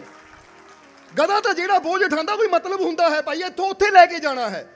ਇੱਥੋਂ ਚੱਕਣਾ, ਉੱਥੇ ਛੱਡਣਾ ਹੈ। ਮਤਲਬ ਹੈ ਕੋਈ ਉਹਦਾ। ਪਰ ਬੰਦਾ ਜਿਹੜਾ ਬੋਝ 24 ਘੰਟੇ ਰੱਖਦਾ ਦਾ ਮਤਲਬ ਹੀ ਕੋਈ ਫਿਰ ਸਭ ਤੋਂ ਬੜਾ, ਆਪੇ ਕਹਿ ਲਓ ਹੁਣ ਕੌਣ? ਸਭ ਤੋਂ ਜ਼ਿਆਦਾ ਬੋਝ ਕੌਣ ਉਠਾਉਂਦਾ ਹੈ? ਬਿਨਾਂ ਮਤਲਬ ਤੋਂ। ਉਹ ਫਲਾਣੇ ਨੇ ਇੰਨਾ ਕਹਿਤਾ ਸੀ। ਕਦੋਂ ਗਿਆ ਸੀ? 10 ਸਾਲ ਪਹਿਲਾਂ। ਹਾਲੇ ਤੱਕ ਬੋਝ ਚੱਕਿਆ ਤੂੰ? ਹੈ? ਉਹ ਮੇਰਾ ਨੁਕਸਾਨ ਹੋ ਗਿਆ ਸੀ। ਕਿੰਨੇ ਲੱਖ ਦਾ? 10 ਲੱਖ ਦਾ? ਕਦੋਂ ਹੋਇਆ ਸੀ? 10 ਸਾਲ ਪਹਿਲਾਂ। ਹਾਲੇ ਤੱਕ ਬੋਝ ਲੈ ਕੇ ਬੈਠਾ ਹੈ। ਫਿਰ ਤੈਨਾਂ ਚੰਗਾ ਤਾਂ ਗਧਾ ਭਾਈ। ਜਿਹੜਾ ਚੱਕਦਾ ਹੈ 2-4 ਕਿਲੋਮੀਟਰ ਜਾ ਕੇ ਰੱਖ ਵੀ। ਚਾਹੇ ਬੋਰੀ ਰੱਖ ਦਿਓ। ਲਾ ਦਿੰਦੇ ਆ ਕਿ ਨਹੀਂ? ਲੈ ਵੀ ਮੰਜ਼ਲ ਆ ਗਈ, ਲਾ ਕੇ। ਉਹ ਫ੍ਰੀ ਜਿਹਾ ਹੋ ਜਾਂਦਾ, ਪਰ ਬੰਦੇ ਦਾ ਮਾਈਂਡ ਕਦੀ ਫ੍ਰੀ ਪਤਾ ਮੇਰੇ ਦਿਮਾਗ ਤੇ ਕਿੰਨਾ ਬੋਝ ਹੈ, ਅੱਧੀ ਰਾਤ ਨੂੰ ਵੀ। ਹਾਏ, ਨੀਂਦ ਨਹੀਂ ਆਂਦੀ ਬੋਝ ਹੀ ਬੜਾ ਹੈ। ਭਾਈ, ਲਾਣਾ ਕਦੋਂ ਹੈ ਤੂੰ? ਫੇਰ ਤਾਂ ਤੇਰੀ ਹਾਲਤ ਗਧੇ ਨਾਲੋਂ ਵੀ ਮਾੜੀ ਹੈ। ਪਰ ਫਿਕਰ ਨਾ ਕਰੋ, ਜਿਹੜੇ ਮਾਲਕਾਂ ਨਾਲ ਜੁੜ ਗਏ ਸੀ ਉਹਨਾਂ ਦੇ ਸਿਰ ਤੇ ਬੋਝ ਨਹੀਂ ਰਹਿਣ ਦਿੰਦੇ। ਤਾਂ ਹੀ ਤਾਂ ਕਈ ਜੀਵ ਦੱਸਦੇ ਆ ਕਿ ਮਾਲਕੋ ਜਦੋਂ ਤੁਹਾਡੇ ਨਾਲ ਜੁੜ ਕੇ ਟੈਨਸ਼ਨ ਹੀ ਛੱਡ ਦਿੱਤੀ ਹੈ। ਹੁਣ ਤਾਂ ਜੀਵਨ ਦਾ ਆਨੰਦ ਹੀ ਬੜਾ क्योंकि जब मेरा मालिक मेरे साथ है तो चिंता की या डरने की क्या ਇਹ ਲੱਗੇ ਤਾਂ ਕੋਈ ਪੁੱਛੇ ਨਾ ਸਭ ਤੋਂ ਜ਼ਿਆਦਾ ਬੋਝ ਕੌਣ ਉਠਾਉਂਦਾ ਕਿਸੇ ਜਾਨਵਰ ਦਾ ਨਾਂ ਨਾ ਲਿਓ ਕਿਉਂਕਿ ਉਹਦਾ ਟਾਈਮ ਟੂ ਟਾਈਮ ਬੋਝ ਉਠਾਉਂਦੇ ਆ ਉਠਾਉਂਦੇ ਆ ਤਾਂ ਲਾ ਵੀ ਪਰ ਇਨਸਾਨ ਹੈ ਕਿ 24 ਘੰਟੇ ਬੱਚਿਆਂ ਨੂੰ ਪੁੱਛ ਲਓ ਪੜ੍ਹਾਈ ਦੇ ਬੋਝ ਬੜਾ ਹੈ ਫਿਰ ਬੱਚਾ ਜਵਾਨ ਹੋ ਜਾਂਦਾ ਨੌਕਰੀ ਦਾ ਬੋਝ ਬੜਾ ਹੈ ਫਿਰ ਸ਼ਾਦੀ ਹੋ ਗਈ ਆ ਪਤਨੀ ਪਤੀ ਦਾ ਬੋਝ ਬੜਾ ਹੈ ਟੈਨਸ਼ਨਾਂ ਦਾ ਬੋਝ ਬੜਾ ਹੈ ਯਾਨੀ ਕਿੰਨਾ ਕੁ ਬੋਝ ਲੈ ਕੇ ਘੁੰਮਦੇ ਹੋ ਹਰ ਵੇਲੇ ਬੋਝ ਬੋਝ ਬੋਝ। ਤਾਂ ਹੁਣ ਅਸੀਂ ਇੱਕੋ ਹੀ ਗੱਲ ਕਵਾਂਗੇ ਕਿ ਜਿਹੜਾ ਆਪਣੇ ਮਾਲਿਕ ਤੇ ਵਿਸ਼ਵਾਸ ਕਰਦਾ ਹੈ, ਆਪਣੇ ਮਾਲਿਕ ਤੇ ਯਕੀਨ ਰੱਖਦਾ ਹੈ ਨਾ, ਫਿਰ ਮਾਲਕ ਕਹਿੰਦੇ, ਹੁਣ ਤੈਨੂੰ ਬੋਝ ਚੱਕਣ ਦੀ ਲੋੜ ਨਹੀਂ, ਬਸ ਵਿਸ਼ਵਾਸ ਰੱਖ, ਤੇਰੇ ਸਾਰੇ ਬੋਝ ਆਪੇ ਸੰਭਾਲ ਲੂੰ ਮੈਂ। ਫਿਰ ਉਹ ਯਕੀਨ ਰੱਖਦਾ ਹੈ ਕਿ ਮੈਨੂੰ ਟੈਨਸ਼ਨ ਦੀ ਕੀ ਲੋੜ ਹੈ, ਜਦ ਮੇਰੀ ਸੰਭਾਲ ਕਰਨ ਵਾਲਾ ਮੇਰਾ ਮਾਲਿਕ ਮੇਰੇ। ਇਸ ਲਈ ਆ ਜੀ ਹੁਣ ਉਸ ਪੁਆਇੰਟ ਤੇ। ਆ ਚੰਗਾ ਹੋਇਆ ਤੁਸੀਂ ਲਾਈਟ ਵਾਲ ਦੇਖ ਲਿਆ, ਦੋ ਚੀਜ਼ਾਂ ਮਿਲ ਗਈਆਂ ਨਵੀਆਂ। ਕਿਉਂਕਿ ਹਰ ਚੀਜ਼ ਵਿੱਚ ਕੋਈ ਨਾ ਕੋਈ ਰਾਜ ਹੁੰਦਾ ਹੈ। ਤੇ ਅਸੀਂ ਦੱਸ ਰਹੇ ਸੀ ਸ਼੍ਰੀ ਕ੍ਰਿਸ਼ਨ ਨੂੰ ਜਦੋਂ ਪੁੱਛਿਆ ਕਿ ਸਭ ਤੋਂ ਉੱਤਮ ਗੁਣ ਕਿਹੜਾ ਹੈ? ਸਭ ਤੋਂ ਉੱਤਮ ਗੁਣ। ਤਾਂ ਹੁਣ ਅਸੀਂ ਇਹ ਗੁਣਾਂ ਨੂੰ ਥੋੜਾ ਸਮਝਣਾ ਹੈ, ਕਿਉਂਕਿ ਗੁਣ ਸਾਡੇ ਵਾਸਤੇ ਬੜੇ ਜ਼ਰੂਰੀ ਹੈ। ਕਿਉਂ ਜ਼ਰੂਰੀ ਹੈ? ਕਿਉਂਕਿ ਹਰ ਇਨਸਾਨ ਦੇ ਜੀਵਨ 'ਚ ਪਰੇਸ਼ਾਨੀਆਂ ਹੈ। ਔਰ ਹਰ ਇਨਸਾਨ ਚਾਹੁੰਦਾ ਹੈ ਕਿ ਮੇਰੇ ਜੀਵਨ ਦੀਆਂ ਪਰੇਸ਼ਾਨੀਆਂ ਦੂਰ ਹੋਣ। ਔਰ ਇਹ ਦੂਰ ਕਿੱਦਾਂ ਹੋਣੀਆਂ ਹੈ? ਉਹਦੇ ਬਾਰੇ ਸ਼੍ਰੀ ਕ੍ਰਿਸ਼ਨ ਦੱਸਦੇ। ਜਦੋਂ ਪੁੱਛਿਆ ਕਿ ਮਹਾਰਾਜ, ਸਭ ਤੋਂ ਉੱਤਮ ਗੁਣ ਕਿਹੜਾ ਹੈ? ਤਾਂ ਸ਼੍ਰੀ ਕ੍ਰਿਸ਼ਨ ਕਹਿੰਦੇ ਪੰਜ ਗੁਣ ਪੰਜ ਗੁਣ प्रेम विश्वास सत्संग दान और दया सबसे उत्तम है जो परेशानियों को दूर और ईश्वर को नजदीक ले आते हैं जरा देखो ਕਹਿੰਦੇ ਸਾਡੇ ਜੀਵਨ ਦੀਆਂ ਪਰੇਸ਼ਾਨੀਆਂ ਨੂੰ ਇਹ ਗੁਣ ਕੀ ਕਰਦੇ ਆ? ਦੂਰ ਕਰ ਦਿੰਦੇ ਆ ਔਰ ਸਾਡੇ ਈਸ਼ਵਰ ਨੂੰ, ਪਰਮਾਤਮਾ ਪ੍ਰਭੂ ਨੂੰ ਸਾਡੇ ਹੁਣ ਅਸੀਂ ਚਾਹੁੰਦੇ ਕਿ ਨਹੀਂ ਆਪਣੇ ਜੀਵਨ ਦੀਆਂ ਪਰੇਸ਼ਾਨੀਆਂ ਦੂਰ ਕਰੀਏ, ਤਾਂ ਸਾਡੇ ਜੀਵਨ 'ਚ ਉਹ ਪ੍ਰਮਾਤਮਾ, ਉਹ ਪ੍ਰਭੂ, ਜਿੱਦਾਂ ਕਹਿੰਦੇ ਨਾ, ਬਹੁਤ ਜਨਮ ਵਿਛੜੇ ਇੱਥੇ, ਮਾਤੋ ਜੀ, ਜਨਮ ਤੁਹਾਰੇ। ਇਹ ਲੇਖੇ ਉਦੋਂ ਹੀ ਲੱਗਣਾ ਜਦੋਂ ਉਹਦੇ ਨੇੜੇ ਜਾਵਾਂਗੇ।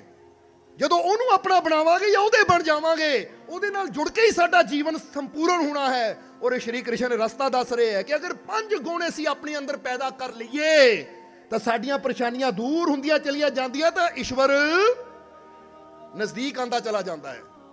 ਉਹ ਪੰਜ ਗੁਣ ਯਾਦ ਹੋਏ ਕਿ ਨਹੀਂ? ਫਿਰ ਦੱਸ ਦਈਏ ਦੁਬਾਰਾ। ਕਹਿੰਦੇ ਪੰਜ ਗੁਣ, ਪਹਿਲਾ ਗੁਣ ਦੱਸਿਆ ਪ੍ਰੇਮ। ਕਿ ਸਾਡੇ ਅੰਦਰ ਪ੍ਰੇਮ ਦਾ ਹੋਣਾ, ਔਰ ਇਹ ਗੁਣ ਸਿਰਫ ਸ਼੍ਰੀ ਕ੍ਰਿਸ਼ਨ ਨੇ ਨਹੀਂ ਕਿਹਾ। ਇਹ ਗੁਣ ਬਾਈਬਲ ਦੇ ਅੰਦਰ ਵੀ ਆਂਦਾ ਹੈ ਕਿ ਲਵ ਇਜ਼, ਔਰ ਗੁਰਬਾਣੀ ਅੰਦਰ ਵੀ ਆਂਦਾ, ਜਿਨ ਪ੍ਰੇਮ ਕੀਓ।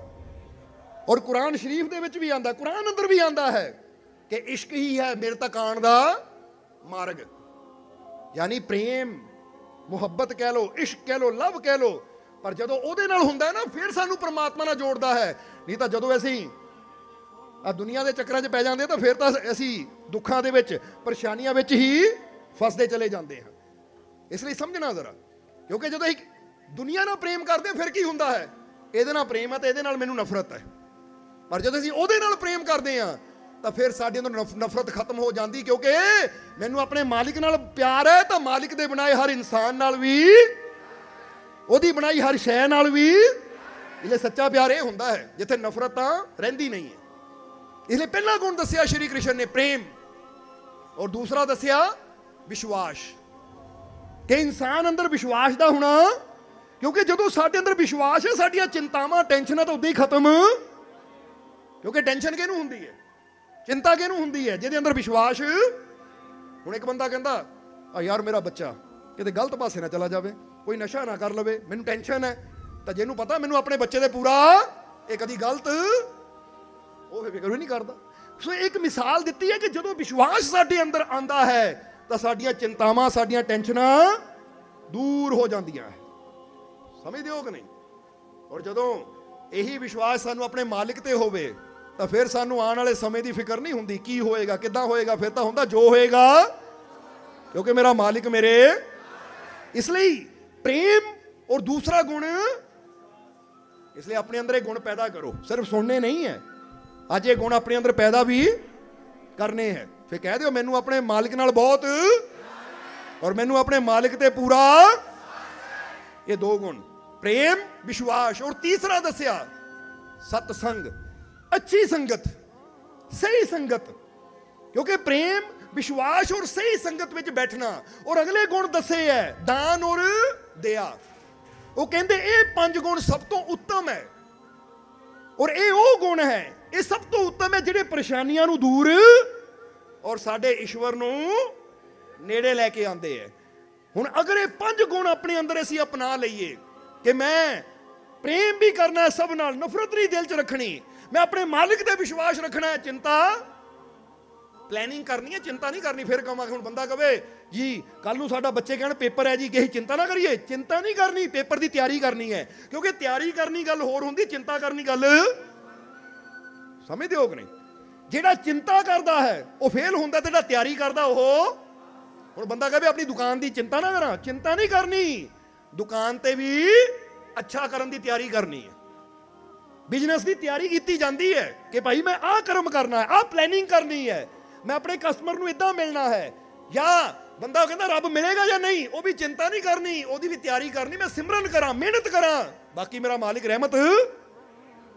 ਸੋ ਇੱਥੇ ਦੱਸਣਾ ਕੀ ਚਾਹੁੰਦੇ ਆ? ਹਰ ਚੀਜ਼ ਦੀ ਤਿਆਰੀ ਕਰੋ, ਮਿਹਨਤ ਕਰੋ, ਚਿੰਤਾ ਕਰਕੇ ਆਪਣੇ ਜੀਵਨ ਨੂੰ ਦੁੱਖਾਂ ਨਾਲ ਨਾ ਭਰੋ। ਅਗਰ ਕੋਈ ਰੋਗ ਵੀ ਆ ਗਿਆ ਨਾ, ਉਹਦੀ ਚਿੰਤਾ ਨਾ ਕਰੋ ਕੀ ਬਣੇਗਾ। ਬਲਕਿ ਤਿਆਰੀ ਕਰੋ, ਇਹ ਰੋਗ ਦਾ ਸਾਹਮਣਾ ਕਰਨਾ ਹੈ, ਇਹਦਾ ਹੱਲ ਕਰਨਾ ਹੈ, ਕਿਉਂਕਿ ਰੋਗ ਦੀ ਤਿਆਰੀ ਕਰਨ ਦਾ ਮਤਲਬ ਯਾਨੀ ਉਹ ਰੋਗ ਆ ਗਿਆ, ਤਿਆਰੀ ਦਾ ਮਤਲਬ ਹੈ, ਹੁਣ ਮੈਂ ਰਸਤਾ ਲੱਭ ਰਿਹਾ, ਜਿਹਦੇ ਨਾਲ ਮੈਂ ਇਤੋਂ ਬਾਹਰ, ਇਹ ਪਰੇਸ਼ਾਨੀ ਚੋਂ ਬਾਹਰ। ਲਿਓ ਵੀ ਸ਼ੇਰ, ਯਾਦ ਆ ਕਿ ਨਹੀਂ ਸਾਡਾ ਕਿ ਟੈਨਸ਼ਨ ਉਤਨੀ ਹੀ ਲੋ ਜਿਤਨੀ ਸੇ ਕਾਮ ਹੋ ਜਾਏ, ਉਹ ਇਤਨੀ ਜ਼ਿਆਦਾ ਵੀ ਨਾ ਲੋ ਕਿ ਜ਼ਿੰਦਗੀ ਤਮਾਮ ਹੋ ਜਾਏ। ਕਿ ਇੰਨੀ ਜ਼ਿਆਦਾ ਵੀ ਟੈਨਸ਼ਨ ਨਾ ਲੋ ਕਿ ਟੈਨਸ਼ਨ ਲੈ ਕੇ ਮਰ ਜਾਈਏ। ਬਲਕਿ ਪਲੈਨਿੰਗ ਕਰੋ। ਹਾਂ ਵੀ ਆਹ ਕੰਮ ਆ ਗਿਆ। ਕਿਉਂਕਿ ਇੱਕ ਵਕੀਲ ਹੈ। ਹੁਣ ਫਰਜ਼ ਕਰੋ, ਤੁਹਾਡਾ ਕੇਸ ਵਕੀਲ ਕੋ ਚਲਾ ਗਿਆ। ਉਦਾਹਰਨ ਦੇ ਰਹੇ ਆ ਇਹ ਤਾਂ ਮਾਲਕ ਰਹਿਮਤ ਕਰਨ ਕੋਈ ਕੇਸ ਜਾਵੇ ਨਾ ਕਦੀ ਕਿਸੇ ਦਾ, ਪਰ ਇਹ ਉਦਾਹਰਨ ਸਮਝਾਉਣ ਵਾਸਤੇ ਕਿ ਅਗਰ ਵਕੀਲ ਕੋ ਕੇਸ ਚਲਾ ਗਿਆ ਤਾਂ ਵਕੀਲ ਤੁਹਾਡੀ ਫਾਈਲ ਲੈ ਕੇ ਟੈਨਸ਼ਨ ਹੋਵੇ ਮੈਨੂੰ ਤਾਂ ਬੜੀ ਟੈਨਸ਼ਨ ਹੋ ਗਈ। ਬਣੂਗਾ ਕੀ ਇਹ ਕੇਸ ਦਾ? ਤਾਂ ਫਿਰ ਇਹ ਸਮਝ ਲਓ, ਜਿਹੜਾ ਵਕੀਲ ਇਹ ਗੱਲ ਕਵੇ, ਭਾਈ ਫਾਈਲ ਲੈ ਲਓ ਵਾਪਸ। ਕਿਉਂਕਿ ਇਹਦਾ ਆਪ ਹੀ ਟੈਨਸ਼ਨ 'ਚ ਪੈ ਗਿਆ ਉਹਨੂੰ ਤੁਹਾਨੂੰ ਟੈਨਸ਼ਨ 'ਚੋਂ। ਜਿਹੜਾ ਕਵੇ, ਕੋਈ ਗੱਲ ਨਹੀਂ। ਪਰੇਸ਼ਾਨੀ ਹੈ, ਪਰ ਅਸੀਂ ਤਿਆਰੀ ਕਰਾਂਗੇ। ਇਹਦਾ ਹੱਲ ਕਰਾਂਗੇ, ਰਸਤਾ ਲੱਭਾਂਗੇ, ਤਾਂ ਕਿ ਪ੍ਰੋਬਲਮ 'ਚੋਂ ਨਿਕਲ ਹੁਣ ਜਿਹੜਾ ਤਿਆਰੀ ਦੀ ਗੱਲ ਕਰੀਏ, ਕਰੇ ਨਾ, ਇਹ ਸਮਝਦਾਰ ਹੈ। ਇਹ ਹੋਣਹਾਰ ਹੈ। ਇਹ ਪੋਜ਼ਿਟਿਵ ਪੋਜ਼ਿਟਿਵਿਟੀ ਨਾਲ ਭਰਿਆ ਹੋਇਆ ਇਹ ਤੁਹਾਨੂੰ ਕਾਮਯਾਬੀ ਦਵਾਏਗਾ। ਤਾਂ ਜਿਹੜਾ ਕਵੇ ਹਾਏ, ਬੜੀ ਟੈਨਸ਼ਨ ਦੀ ਗੱਲ ਹੈ ਭਾਈ। ਕੇਸ ਹੀ ਬੜਾ ਖਤਰਨਾਕ, ਬੜੀ ਟੈਨਸ਼ਨ ਹੈ। ਤਾਂ ਫਿਰ ਸਮਝ ਲਓ ਜਿਹਨਾਂ ਪਹਿਲੀ ਹੀ ਟੈਨਸ਼ਨ ਕਹਿਤਾ ਨਾ, ਉਹਦੇ ਕੋਲ ਇੰਨਾ ਗਿਆਨ ਹੀ ਹੈ ਨਹੀਂ ਉਹਨੂੰ ਸਮਝਣ ਦੀ। ਹੁਣ ਫਰਜ਼ ਕਰੋ ਤੁਸੀਂ ਕੋਈ ਦੁੱਖ ਲੈ ਕੇ ਸਾਡੇ ਕੋਲ ਆਓ। ਲੈ ਵੀ ਬੜਾ ਖਤਰਨਾਕ ਹੈ। ਸਾਨੂੰ ਟੈਨਸ਼ਨ ਪੈ ਗਈ। ਜ਼ਰਾ ਸੋਚੋ, ਉਹ ਮਾਲਕ ਦੇ ਘਰ 'ਚ ਕਾਦੀ ਟੈਨਸ਼ਨ ਹੈ? ਮਾਲਕ ਦੇ ਘਰ 'ਚ ਤਾਂ ਟੈਨਸ਼ਨਾਂ ਦਾ। ਜਿਹੜੇ ਸਾਡੇ ਕੋਲ ਕੋਈ ਵੀ ਆਵੇ ਨਾ, ਇੱਕੋ ਹੀ ਗੱਲ ਕਹੀਦੀ ਉਹ ਫਿਕਰ ਨਾ ਕਰ, ਮਾਲਕ ਦੇ ਘਰ 'ਚ ਆ ਗਿਆ, ਬੈਠੇ ਐ ਅਸੀਂ, ਤੂੰ ਮੁਸਕਰਾ, ਚਿੰਤਾਵਾਂ ਦੂਰ ਕਰ ਦੇਣੀਆਂ ਮਾਲਕ ਦੀ ਰਹਿਮਤ ਨਾਲ। ਕਿਉਂ ਕਹੀਦਾ ਤੁਹਾਨੂੰ ਕਿ ਕੋਈ ਜੀਵਨ ਦੀ ਪ੍ਰੋਬਲਮ ਹੈ? ਬੈਠੇ ਐ ਅਸੀਂ, ਬਸ ਤੁਹਾਡੇ ਚਿਹਰੇ ਤੇ ਮੁਸਕਰਾਹਟ ਰਹਿਣੀ ਚਾਹੀਦੀ ਹੈ। ਕਿਉਂ? ਬੈਠੇ ਆ ਮਾਲਕ ਸੰਭਾਲਣ ਵਾਲੇ। ਕਹੀਦਾ ਕਿ ਨਹੀਂ ਤੁਹਾਨੂੰ ਅਸੀਂ? ਕਿ ਤੁਸੀਂ ਮੁਸਕਰਾਣਾ ਹੈ, ਕੋਈ ਚਿੰਤਾ ਹੈ? ਦੱਸੋ। ਹੱਲ ਦੇਵਾਂਗੇ ਹੱਲ ਕਰਾਂਗੇ ਪਰ ਅਸੀਂ ਤੁਹਾਡੇ ਚਿਹਰੇ ਤੇ ਕੀ ਦੇਖਣਾ ਚਾਹੁੰਦੇ ਹਾਂ ਸਮਾਈਲ मुस्कुराहट देखना चाहते हैं कि माना कि जिंदगी की राहें आसान नहीं है और लेकिन मुस्कुराकर चलने में कोई नुकसान नहीं है मनिया कि जिंदगी प्रॉब्लम है राह आसान नहीं है पर जे चलना ही है तो फिर रो के क्यों चलिए मुस्कुरा के चलिए क्योंकि यूं ही कट जाएगा सफर साथ चलने से कि मंजिल आएगी नजर ਆਏਗੀ ਕਿ ਨਹੀਂ ਨਜ਼ਰ? ਜਦ ਨਾਲ ਹੈ ਮਾਲਕ ਤਾਂ ਫਿਰ ਮੰਜ਼ਿਲ ਵੀ ਮਿਲੇਗੀ। ਖੁਸ਼ੀਆਂ ਵੀ ਮਿਲਣਗੀਆਂ, ਰੋਣਾ ਕਿਉਂ ਹੈ? ਚਿੰਤਾ ਕਿਉਂ ਕਰਨੀ ਹੈ ਅਸੀਂ? ਬਸ ਵਿਸ਼ਵਾਸ ਰੱਖੋ ਕਿ ਮੇਰਾ ਮਾਲਿਕ ਮੇਰੇ ਇਹ ਲਈ ਫਿਰ ਕਹਾਂਗੇ ਰੋਣਾ ਬੰਦ ਕਰੋ। ਸਮਝਦੇ ਹੋ ਕਿ ਨਹੀਂ? ਤੇ ਕਹਿ ਦਿਓ ਮੈਨੂੰ ਆਪਣੇ ਮਾਲਿਕ ਤੇ ਪੂਰਾ ਇਹ ਬਾਰ-ਬਾਰ ਤਾਂ ਕਹਿਣਾ ਪੈਂਦਾ ਤਾਂ ਕਿ ਤੁਹਾਡੇ ਅੰਦਰ ਨਾ ਇਹਨੇ ਗੱਲ ਸਮਾ ਜਾਵੇ ਕਿ ਮੈਂ ਚਿੰਤਾ ਕਰਨੀ ਨਹੀਂ ਹੈ ਕੋਈ। ਜਦ ਹੱਲ ਕਰਨ ਵਾਲਾ ਮੇਰਾ ਮਾਲਿਕ ਮੇਰੇ ਨਾਲ ਹੈ ਤਾਂ ਫਿਕਰ ਕਿਉਂ ਕਰਾਂ ਮੈਂ? ਚਿੰਤਾ ਕਿਉਂ ਕਰਾਂ ਮੈਂ? ਇਸ ਲਈ ਤਾਂ ਹੀ ਸ਼੍ਰੀ ਕ੍ਰਿਸ਼ਨ ਨੇ ਕਿਹਾ ਜੀ ਇਹ ਫਿਰ ਉਸ ਲਾਈਨ ਤੇ ਕਿ पांच गुण प्रेम विश्वास सत्संग दान और दया सबसे उत्तम है जो परेशानियों को दूर और ईश्वर को नजदीक ले आते हैं ਇਸ ਲਈ ਸ਼੍ਰੀ ਕ੍ਰਿਸ਼ਨ ਕਹਿੰਦੇ ਆ ਕਿ ਸਭ ਨਾਲ ਪ੍ਰੇਮ ਕਰ ਉਹ ਆਪਣੇ ਰੱਬ ਤੇ ਵਿਸ਼ਵਾਸ ਕਰ ਔਰ ਸੰਤਾਂ ਦੀ ਸੰਗਤ ਵਿੱਚ ਅੱਛੀ ਜਗ੍ਹਾ ਬੈਠ ਜਾ ਕੇ ਸਤਸੰਗ ਵਿੱਚ ਬੈਠ ਜਾ ਕੇ ਔਰ ਜਿੰਨਾ ਹੋ ਸਕੇ ਆਪਣੇ ਹੱਥਾਂ ਨਾਲ ਦਾਨ ਕਰ ਨੇਕੀ ਦੇ ਰਾਹ ਤੇ ਖਰਚ ਕਰ ਔਰ ਦਿਆ ਕਰ। ਕਿਸੇ ਤੇ ਜ਼ੁਲਮ ਨਾ ਕਰ, ਸਭ ਤੇ ਦਿਆ ਕਰ। ਤੇਰੀ ਵਜ੍ਹਾ ਨਾਲ ਕਿਸੇ ਨੂੰ ਤਕਲੀਫ ਨਹੀਂ ਹੋਣੀ ਚਾਹੀਦੀ। ਸਮਝਦੇ ਹੋ ਕਿ ਨਹੀਂ? ਜਰਾ ਹੁਣ ਸੋਚੋ, ਇਨਸਾਨ ਆਪਣੇ ਜਵਾਨ ਦੀ ਸਵਾਦ ਦੀ ਖਾਤਰ ਕਿਸ ਦੀ ਜਾਨਵਰ ਦੀ ਗਰਦਨ ਤੇ ਛੁਰੀ ਫੇਰੇ, ਤਾਂ ਫਿਰ ਉਹਨੂੰ ਖੁਸ਼ੀਆਂ ਮਿਲਣਗੀਆਂ। ਜਰਾ ਇਹ ਗੱਲ ਬੜੀ ਸਮਝਣ ਵਾਲੀ ਹੈ। ਕਹਿੰਦੇ ਖੁਸ਼ੀ ਪਤਾ ਕਿਹਨੂੰ ਮਿਲਦੀ ਹੈ? ਖੁਸ਼ੀ ਕਿਹਨੂੰ ਮਿਲਦੀ ਹੈ? ਇੱਕ ਦਿਨ ਬਾਬਾ ਫਰੀਦ ਬੈਠੇ ਹੋਏ ਸੀ। ਇੱਕ ਆਦਮੀ ਆਇਆ। ਕਹਿੰਦਾ, ਹੇ ਪੀਰੋ ਮੁਰਸ਼ਿਦ, ਮੈਨੂੰ 15 ਸਾਲ ਹੋ ਗਏ ਖੁਦਾ ਦੀ ਇਬਾਦਤ ਕਰਦੇ ਨੂੰ, ਨਮਾਜ਼ ਪੜ੍ਹਦੇ ਨੂੰ, ਕਿ ਮੇਰੀ ਨਮਾਜ਼ ਕਬੂਲ ਹੈ ਕਿ ਨਹੀਂ? ਕਿ ਮੈਂ ਕਿੰਨਾ ਕੁ ਖੁਦਾ ਦੇ ਨੇੜੇ ਪਹੁੰਚਿਆ? ਕਿਉਂਕਿ ਕਈ ਵਾਰ ਬੰਦਾ ਕਹਿੰਦਾ, ਇੰਨੇ ਸਾਲ ਹੋ ਗਏ ਮੈਨੂੰ ਆ ਨੇਕੀ ਕਰਦੇ ਨੂੰ, ਕਿੰਨਾ ਕੁ ਰੱਬ ਦੇ ਨੇੜੇ ਪਹੁੰਚ ਗਿਆ? ਜਰਾ ਦੱਸਿਓ। ਤਾਂ ਉਸ ਵੇਲੇ ਬਾਬਾ ਫਰੀਦ ਨੇ ਅੱਖਾਂ ਬੰਦ ਕੀਤੀਆਂ ਥੋੜੀ ਦੇਰ ਬਾਅਦ ਅੱਖਾਂ ਖੋਲੀਆਂ। ਉਹ ਕਹਿੰਦੇ, ਖੁਦਾ ਨੂੰ ਤੇਰੀ ਨਮਾਜ਼ ਕਬੂਲ ਨਹੀਂ ਹੋਈ। 15 ਸਾਲ ਹੋ ਗਏ ਪੜ੍ਹਦੇ ਨੂੰ ਪਰ ਉਹ ਕਹਿੰਦਾ ਜੀ ਕਿਉਂ ਕਬੂਲ ਨਹੀਂ ਹੋਈ? ਉਹ ਕਹਿੰਦੇ ਖੁਦਾ ਕਹਿੰਦਾ ਕਦੀ ਦਿਲ ਲਾ ਕੇ ਤਾਂ ਨਮਾਜ਼ ਪੜ੍ਹੀ ਨਹੀਂ ਤੂੰ। ਬੈਠਾ ਨਮਾਜ਼ ਹੁੰਦਾ, ਧਿਆਨ ਤਾਂ ਤੇਰਾ ਹੁੰਦਾ ਕਿ ਨਹੀਂ ਕਈ ਵਾਰ ਏਦਾਂ? ਕਿ ਕਰਦੇ ਹੀ ਪ੍ਰਾਰਥਨਾ ਹੁੰਦੇ ਆ। ਔਰ ਬੈਠੇ ਸਤਸੰਗ 'ਚ ਹੁੰਦੇ, ਪਰ ਧਿਆਨ ਸਾਡਾ ਕਈ ਵਾਰ ਦੁਕਾਨਦਾਰੀ ਆ, ਕਿਤੇ ਹੋਵੇ ਤਾਂ ਫੇਰ ਇਹਦਾ ਮਤਲਬ ਸਾਡੀ ਹਾਜ਼ਰੀ ਤਾਂ ਉੱਥੇ ਲੱਗਣੀ ਹੈ ਜਿੱਥੇ ਸਾਡੀ ਸੁਰਤੀ ਹੈ। ਹੁਣ ਕਹਿੰਦੇ ਫਿਰ ਉਹ ਆਦਮੀ ਚਲਾ ਗਿਆ। ਬੜਾ ਪਰੇਸ਼ਾਨ ਹੋਇਆ ਕਿ ਇੰਨੇ ਸਾਲ ਹੋ ਗਏ, ਇੱਕ ਵੀ ਉਹ ਨਮਾਜ਼ ਕਬੂਲ ਨਹੀਂ। ਹਾਲੇ ਵੀ ਰੱਬ ਤੋਂ ਦੂਰ ਹੀ ਬੈਠਾ ਆ ਕਾਦੀ ਜ਼ਿੰਦਗੀ? ਫਿਰ ਕਹਿੰਦੇ ਥੋੜਾ ਸਮਾਂ ਗੁਜ਼ਰਿਆ। ਥੋੜਾ ਸਮਾਂ ਗੁਜ਼ਰਿਆ। ਇੱਕ ਦਿਨ ਤੁਰਿਆ ਜਾ ਰਿਹਾ ਸੀ। ਅੱਗੇ ਬਾਬਾ ਫਰੀਦ ਆ ਰਹੇ ਸੀ। ਉਹ ਬਾਬਾ ਫਰੀਦ ਨੇ ਆਵਾਜ਼ ਮਾਰੀ, ਉਹ ਇੱਧਰ ਆ ਪਈ ਬੜੇ ਦਿਨ ਹੋ ਗਏ। ਤੂੰ ਸਾਨੂੰ ਮਿਲਣ ਨਹੀਂ ਆਇਆ? ਉਹ ਕਹਿੰਦਾ, ਮਹਾਰਾਜ, ਉਦੋਂ ਜਦੋਂ ਪੁੱਛਿਆ ਸੀ ਨਾ, ਤੁਹਾਨੂੰ ਦਿਲ ਜਿਹਾ ਟੁੱਟ ਗਿਆ ਉਦੋਂ ਦਾ ਕਿ 15 ਸਾਲ ਹੋ ਗਏ ਨਮਾਜ਼ ਪੜ੍ਹਦੇ ਹਾਲੇ ਰੱਬ ਦੇ ਨੇੜੇ ਪਹੁੰਚਿਆ ਹੀ ਨਹੀਂ। ਸੋ ਮਾਰੇ ਬੜਾ ਦੁਖੀ ਜਿਹਾ ਦਿਲ ਹੋਇਆ ਨਾ। ਇਸ ਕਰਕੇ ਬਾ ਪਰੇਸ਼ਾਨ ਜਿਹਾ ਰਹਿੰਦਾ ਆ। ਬਾਬਾ ਫਰੀਦ ਕਹਿੰਦੇ ਉਹ 7 ਦਿਨ ਹੋ ਗਏ ਸਾਨੂੰ ਇੰਤਜ਼ਾਰ ਕਰਦਿਆਂ ਨੂੰ, ਤੂੰ ਆਵੇਂ ਤਾਂ ਤੈਨੂੰ ਖੁਸ਼ਖਬਰੀ ਸੁਣਾਈਏ। ਕਹਿੰਦਾ, ਮਾਰੇ ਕਾਦੀ ਖੁਸ਼ਖਬਰੀ ਸੁਣਾਣੀ ਹੈ? ਉਦੋਂ ਦੀ ਇੱਕ ਦੁੱਖ ਭਰੀ ਖਬਰ ਸੁਣੀ ਹੈ, ਤਾਂ ਹਾਲੇ ਦਿਲ ਦੁਖੀ ਹੈ, ਹੁਣ ਕਾਦੀ ਖੁਸ਼ਖਬਰੀ? ਉਹ ਕਹਿੰਦੇ 7 ਦਿਨ ਹੋ ਗਏ ਤੇਰਾ ਇੰਤਜ਼ਾਰ ਕਰਦੇ ਨੂੰ ਖੁਸ਼ਖਬਰੀ ਤੈਨੂੰ ਇਹ ਸੁਣਾਣੀ ਹੈ। ਪਹਿਲਾਂ ਦੱਸ, ਤੂੰ ਨੇਕੀ ਕੀ ਕੀਤੀ? ਕਿਉਂਕਿ 7 ਦਿਨ ਪਹਿਲਾਂ ਇਹੀ ਇਬਾਦਤ ਤੇ ਬੈਠੇ ਸੀ। ਤਾਂ ਉਸ ਲਈ ਖੁਦਾ ਦੀ ਆਵਾਜ਼ ਆਈ ਕਿ ਉਹ ਇਨਸਾਨ ਜਿਹਨੇ ਤੈਨੂੰ ਪੁੱਛਿਆ ਸੀ ਨਾ, ਮੇਰੀ 15 ਸਾਲ ਦੀ ਨਮਾਜ਼ ਕਬੂਲ ਹੋਈ ਜਾਂ ਨਹੀਂ, ਉਹਨੂੰ ਕਹਿ ਦੇਈ ਆ ਤੂੰ ਜੋ ਨੇਕੀ ਕੀਤੀ ਹੈ ਇਹ ਨੇਕੀ ਨਾਲ ਤੂੰ ਮੇਰਾ ਦਿਲ ਜਿੱਤ ਲਿਆ, ਅੱਜ ਤੋਂ ਤੂੰ ਮੇਰਾ ਤਾਂ ਮੈਂ ਤੇਰਾ। ਉਹ ਦੱਸ ਤੂੰ ਨੇਕੀ ਕੀ ਕੀਤੀ? ਉਹ ਕਹਿੰਦਾ ਮੈਂ, ਕਹਿੰਦਾ ਮਹਾਰਾਜ 7 ਦਿਨ ਪਹਿਲਾਂ ਤਾਂ ਇੱਕ ਦਿਨ ਮੈਂ ਤੁਰਿਆ ਜਾ ਰਿਹਾ ਸੀ। ਤੁਰਿਆ ਜਾ ਰਿਹਾ ਸੀ? ਦੇਖਿਆ ਇੱਕ ਪੇੜ ਦੇ ਥੱਲੇ ਨਾ, ਚਿੜੀ ਦੇ ਦੋ ਬੱਚੇ ਥੱਲੇ ਗਿਰੇ ਹੋਏ ਸੀ ਪੇੜ ਤੋਂ। ਔਰ ਚਿੜੀ ਵਿਚਾਰੀ ਤੜਫ ਰਹੀ ਸੀ ਉੱਪਰ, ਕਿਉਂਕਿ ਚੱਕ ਕੇ ਤਾਂ ਲਿਜਾ ਨਹੀਂ ਸਕਦੀ ਸੀ ਉਹਨਾਂ ਨੂੰ। ਜਦੋਂ ਮੈਂ ਦੇਖਿਆ ਚਿੜੀ ਔਰ ਚਿੜਾ ਬੜੇ ਪਰੇਸ਼ਾਨ ਸੀ, ਬੱਚਿਆਂ ਦੇ ਕੋਲ ਘੁੰਮ ਰਹੇ ਸੀ ਬੱਚੇ ਥੱਲੇ ਆਲਣੇ ਚੋਂ ਗਿਰੇ ਹੋਏ ਸੀ, ਕਿਉਂਕਿ ਤੂਫਾਨ ਹਨੇਰੀ ਆਈ ਸੀ, ਜਿਹਦੇ ਨਾਲ ਬੱਚੇ, ਤਾਂ ਮੈਂ ਜਾ ਰਿਹਾ ਸੀ, ਜਦੋਂ ਮੈਂ ਦੇਖਿਆ ਬੜਾ ਤਰਸ ਆਇਆ, ਬੜੇ ਮਨ ਨੂੰ ਤਕਲੀਫ ਹੋਈ। ਤਾਂ ਮੈਂ ਬੜੇ ਪਿਆਰ ਨਾਲ ਇਦਾਂ ਹੱਥੇ ਰੱਖ ਕੇ ਨਾ, ਬੜੀ ਮੁਸ਼ਕਲ ਪੇੜ ਤੇ ਚੜਿਆ ਔਰ ਮਹਾਰਾਜ, ਇੱਕ ਹੱਥ ਨਾਲ ਚੜਨ ਲੱਗਿਆ ਨਾ, ਮੈਂ ਪੇੜ ਤੋਂ ਗਿਰਿਆ ਵੀ, ਔਰ ਮੇਰੇ ਗੋਡੇ ਤੇ ਜ਼ਖਮ ਵੀ ਹੋ ਗਿਆ, ਰਗੜ ਵੀ ਲੱਗ ਗਈ, ਪਰ ਫਿਰ ਵੀ ਮੈਂ ਰੁਕਿਆ ਨਹੀਂ। ਔਰ ਮੈਂ ਉਹ ਚਿੜੀ ਦੇ ਬੱਚਿਆਂ ਨੂੰ ਉਹਦੇ ਆਲਣੇ 'ਚ ਰੱਖਿਆ। ਜਦੋਂ ਆਲਣੇ 'ਚ ਰੱਖਿਆ ਤਾਂ ਮਨ ਨੂੰ ਬੜਾ ਸਕੂਨ ਮਿਲਿਆ, ਸੱਚ ਦੱਸਾਂ। ਮਹਾਰਾਜ, ਨਮਾਜ਼ਾਂ 'ਚ ਉਹ ਸਕੂਨ ਨਹੀਂ ਮਿਲਿਆ ਸੀ ਜੋ ਉਸ ਦਿਨ ਮਿਲਿਆ ਮੈਨੂੰ। ਜਦੋਂ ਚਿੜੀ ਦੇ ਬੱਚੇ ਆਲਣੇ 'ਚ ਰੱਖੇ, ਤਾਂ ਚਿੜੀਆਂ ਇਦਾਂ ਚਹਿ ਚਹਾ ਰਹੀਆਂ ਸੀ। ਪਤਾ ਨਹੀਂ ਆਸਮਾਨ ਨਾਲ ਦੇਖ ਕੇ ਕੀ ਕਰ ਰਹੀਆਂ ਸੀ। ਕਹਿੰਦਾ, ਬਸ, ਮਨ ਨੂੰ ਬੜਾ ਸਕੂਨ ਮਿਲਿਆ। ਸੱਟ ਜ਼ਰੂਰ ਲੱਗੀ, ਪਰ ਮਨ ਨੂੰ ਅੰਦਰੋਂ ਖੁਸ਼ੀ ਸੀ ਕਿ ਕੋਈ ਚੰਗਾ ਕੀਤਾ ਹੈ। ਤਾਂ ਬਾਬਾ ਫਰੀਦ ਕਹਿੰਦੇ, ਬਸ ਫਿਰ, ਉਧਰ ਤੂੰ ਚਿੜੀ ਦੇ ਬੱਚੇ ਰੱਖੇ ਔਰ ਉਧਰ ਖੁਦਾ ਨੇ ਸਾਨੂੰ ਕਹਿਤਾ ਕਿ ਅੱਜ ਉਹਨਾਂ ਉਹ ਨੇਕੀ ਕੀਤੀ ਹੈ ਕਿ ਹੁਣ ਉਹ ਮੇਰਾ ਤਾਂ ਮੈਂ ਉਹਦਾ ਹੋ ਗਿਆ। ਕਿਉਂਕਿ ਜਦੋਂ ਦੂਜੇ ਦਾ ਭਲਾ ਕਰਨ ਵਾਸਤੇ ਹੀ ਦਰਦ ਚੱਲਦੇ ਤਾਂ ਉਹ ਨੇਕੀ ਰੱਬ ਨੂੰ ਸਭ ਤੋਂ ਜ਼ਿਆਦਾ ਸਮਝਦੇ ਹੋ ਕਿ ਨਹੀਂ? ਇਹਨੂੰ ਕਹਿੰਦੇ ਦਇਆ ਕਰਨੀ ਕਿਸੇ ਤੇ, ਕਿਸੇ ਦੀ ਹੈਲਪ ਕਰਨੀ, ਕਿਸੇ ਦੀ ਮਦਦ ਕਰਨੀ। ਤਾਂ ਜ਼ਰਾ ਸੋਚੋ, ਜਦੋਂ ਅਸੀਂ ਕਿਸੇ ਦੀ ਮਦਦ ਕਰਦੇ ਹਾਂ, ਔਰ ਇਹ ਗੱਲ ਤਾਂ ਤੁਸੀਂ ਰਵੀਆ ਬਸਰੀ ਦੀ ਵੀ ਸੁਣੀ ਹੋਣੀ ਹੈ। ਸੁਣੀ ਹੈ ਕਿ ਨਹੀਂ ਰਵੀਆ ਦੀ ਕਹਾਣੀ? ਕਿ ਜਦੋਂ ਰਵੀਆ ਹੱਜ ਕਰਨ ਜਾ ਰਹੀ ਸੀ ਪੈਦਲ, ਕਿਉਂਕਿ ਗਰੀਬ ਸੀ ਬੜੀ ਲੰਬੀ ਯਾਤਰਾ। ਕਹਿੰਦੇ ਹੱਜ ਕਰਨ ਜਾ ਰਹੀ ਹੈ। ਤਾਂ ਰਸਤੇ 'ਚ ਕੀ ਦੇਖਿਆ? ਇੱਕ ਕੁੱਤਾ ਪਿਆਸਾ। ਜਦੋਂ ਕੁੱਤਾ ਪਿਆਸਾ ਦੇਖਿਆ ਨਾ, ਰਬੀਆ ਕੋ ਪਾਣੀ ਹੈ ਨਹੀਂ ਸੀ, ਬੜੀ ਪਰੇਸ਼ਾਨ ਹੋਈ। ਕਹਿੰਦੇ ਕੂਆਂ ਸੀ। ਜਦੋਂ ਕੂਏ ਦੇਖਿਆ, ਪਾਣੀ ਤਾਂ ਅੰਦਰ ਹੈ, ਪਰ ਨਾ ਰਸੀਅਤ, ਨਾ ਹੀ ਡੋਲ। ਤਾਂ ਕਹਿੰਦੇ ਉਸ ਵੇਲੇ ਰਬੀਆ ਬਸਰੀ ਨੇ ਕੀ ਕੀਤਾ? ਇੱਕ ਫਕੀਰ ਔਰਤ ਸੀ। ਉਹਨੇ ਕੀ ਕੀਤਾ? ਕਿ ਉਸਲੇ ਜਦੋਂ ਪਰੇਸ਼ਾਨ ਸੀ ਕਿ ਇਹਨੂੰ ਪਾਣੀ ਕਿੱਦਾਂ ਪਿਲਾਵਾਂ? ਤਾਂ ਕਹਿੰਦੇ ਉਸ ਲਈ ਉਹਦਾ ਧਿਆਨ ਆਪਣੇ ਬਾਲਾਂ ਵੱਲ ਗਿਆ ਤਾਂ ਉਹਨੇ ਪਤਾ ਕੀ ਕਿਹਾ? ਐ ਰੱਬਾ, ਮੈਂ ਹਮੇਸ਼ਾ ਸੋਚਦੀ ਹੁੰਦੀ ਸੀ ਕਿ ਰੱਬ ਨੇ ਮੈਨੂੰ ਇੰਨੇ ਲੰਬੇ ਵਾਲ ਕਿਉਂ ਦਿੱਤੇ? ਕਿਉਂਕਿ ਕਹਿੰਦੇ ਰਵੀਆ ਦੇ ਬਾਲ ਬਹੁਤ ਲੰਬੇ ਸੀ। ਕਹਿੰਦੇ ਅੱਜ ਪਤਾ ਲੱਗਾ। ਕਹਿੰਦੇ ਉਹਨੇ ਆਪਣੇ ਵਾਲ ਤੋੜਨੇ ਸ਼ੁਰੂ ਕੀਤੇ। ਬਾਲ ਤੋੜ ਕੇ ਰੱਸੀ ਬਣਾਈ, ਗੁੰਥੀ। ਰੱਸੀ ਗੁੰਥੀ ਉਹਨਾਂ ਦੇ ਬਾਲਾਂ ਦੀ। ਔਰ ਫਿਰ ਆਪਣਾ ਦੁਪੱਟਾ ਲੈ ਕੇ ਉਹਦੇ ਨਾਲ ਬੰਨ ਕੇ ਨਾ ਕੂ- ਕੂਏ 'ਚ ਪਾਇਆ। ਜਦੋਂ ਕੂਏ 'ਚ ਪਾਇਆ, ਦੁਪੱਟਾ ਗਿੱਲਾ ਹੋ ਗਿਆ, ਬਾਹਰ ਖਿੱਚਿਆ। ਔਰ ਉਹ ਨਿਚੋੜ ਕੇ ਕੁੱਤੇ ਦੇ ਮੂੰਹ 'ਚ ਇਦਾਂ ਤਿੰਨ ਚਾਰ ਵਾਰ ਕਰਕੇ ਪਾਣੀ ਪਿਲਾਇਆ। ਕੁੱਤਾ ਜਦੋਂ ਤ੍ਰਿਪਤ ਹੋ ਗਿਆ, ਚਲਾ ਗਿਆ। ਹੁਣ ਰਵੀਆ ਦੇ ਸਿਰ ਤੋਂ ਖੂਨ ਨਿਕਲ ਰਿਹਾ ਹੈ। ਪਰ ਜਦੋਂ ਕੁੱਤੇ ਦੀ ਪਿਆਸ ਬੁਝੀ, ਗਿਆ, ਤ੍ਰਿਪਤ ਹੋ ਕੇ, ਤਾਂ ਰਵੀਆ ਨੂੰ ਬੜਾ ਸਕੂਨ ਮਿਲਿਆ।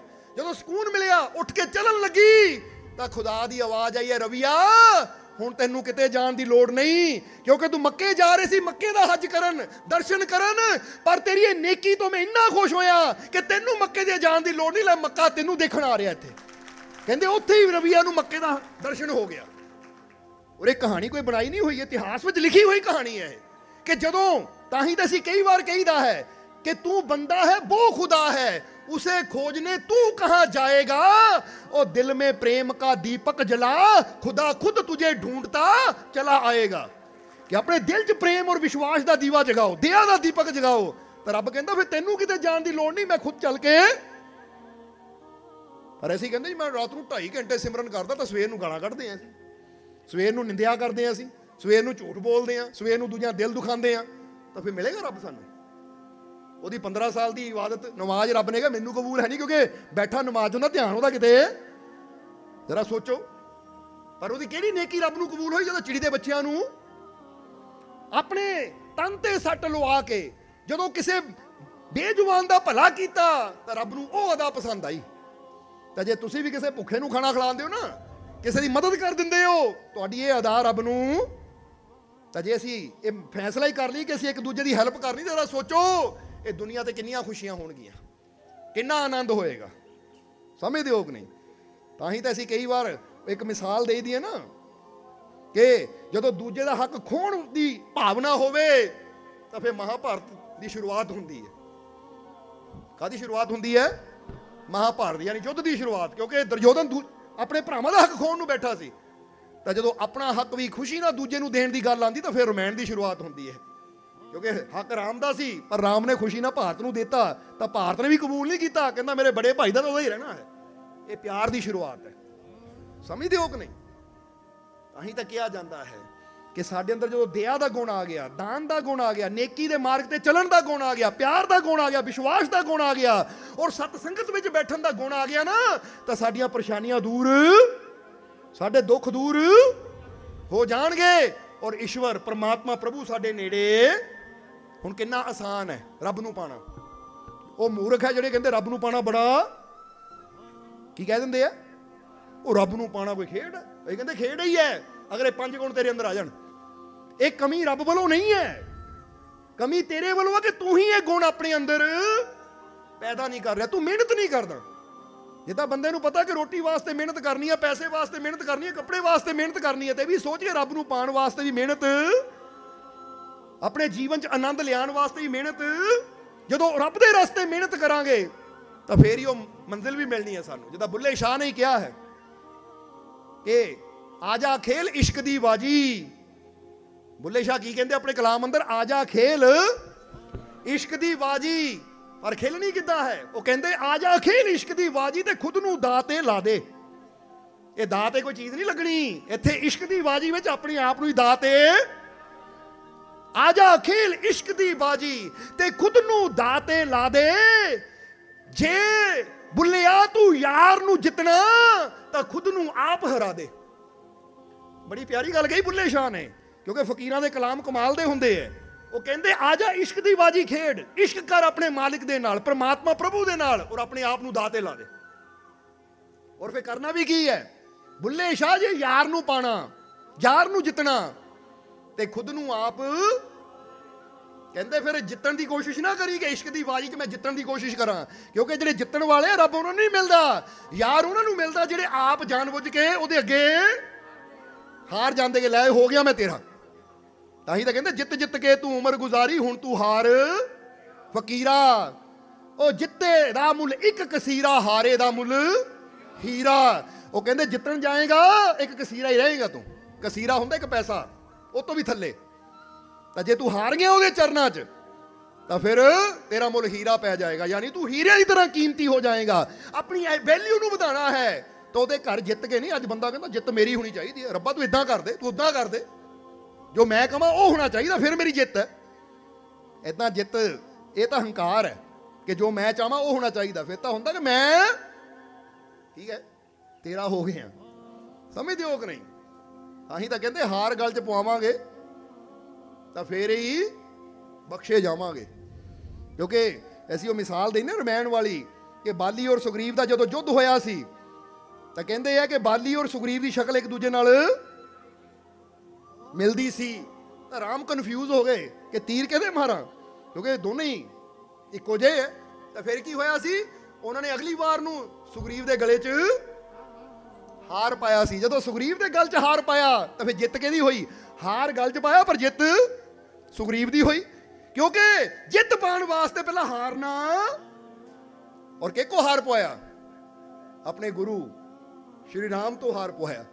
ਹਾਰ ਦਾ ਮਤਲਬ ਕੀ ਹੈ? ਉੱਥੇ ਹਾਰ ਮੰਨਣੀ ਪੈਂਦੀ ਹੈ ਕਿ ਮੇਰਾ ਮੁਝ ਮੇ ਕਿਛ ਨਹੀਂ, ਜੋ ਕਿਛ ਹੈ।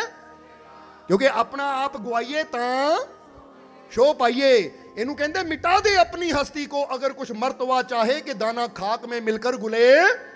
ਆਪਣੇ ਆਪ ਨੂੰ ਮਿਟਾਵਾਂਗੇ, ਉਹਦੇ ਚਰਨਾਂ 'ਚ ਹਾਰਾਂਗੇ, ਸਿਰ ਨੂੰ ਝੁਕਾਵਾਂਗੇ। ਸਿਰ ਝੁਕਾਉਣ ਦਾ ਮਤਲਬ ਹਾਰ। ਤਾਂ ਫੇਰ ਹੀ ਯਾਰ ਨੂੰ ਪਾਵਾਂਗੇ। ਇਹਲੇ ਪਾਣਾ ਨਾ ਉਸ ਨੂੰ ਤਾਂ ਵੀ ਹਉਮੈ ਛੱਡੀਏ, ਮੈਂ ਛੱਡੀਏ, ਬਸ। ਉਹਦੇ ਚਰਨਾਂ 'ਚ ਜਿੱਦਾਂ ਇੱਕ ਦਸੀਦਾ ਹੈ ਕਿ ਜਿਉ ਜਿਉ ਮੈਂ ਆਪਣੇ ਸਰ ਕੋ ਤੇਰੇ ਦਰ ਪਰ ਝੁਕਾਤਾ ਚਲਾ ਗਿਆ ओ ये मेरे मालिक का कर्म था कि मुझको उठाता चला गया ਕਿ ਜਿੱਦਾਂ ਜਿੱਦਾਂ ਇਹ ਸਿਰ ਉਹਦੇ ਅੱਗੇ ਝੁਕਦਾ ਹੈ ਤਾਂ ਪ੍ਰਮਾਤਮਾ ਨੂੰ ਹੋਰ ਉੱਪਰ ਉਠਾਉਂਦਾ ਹੈ ਕਿ ਚੱਲ ਤੇਰਾ ਰੁਤਬਾ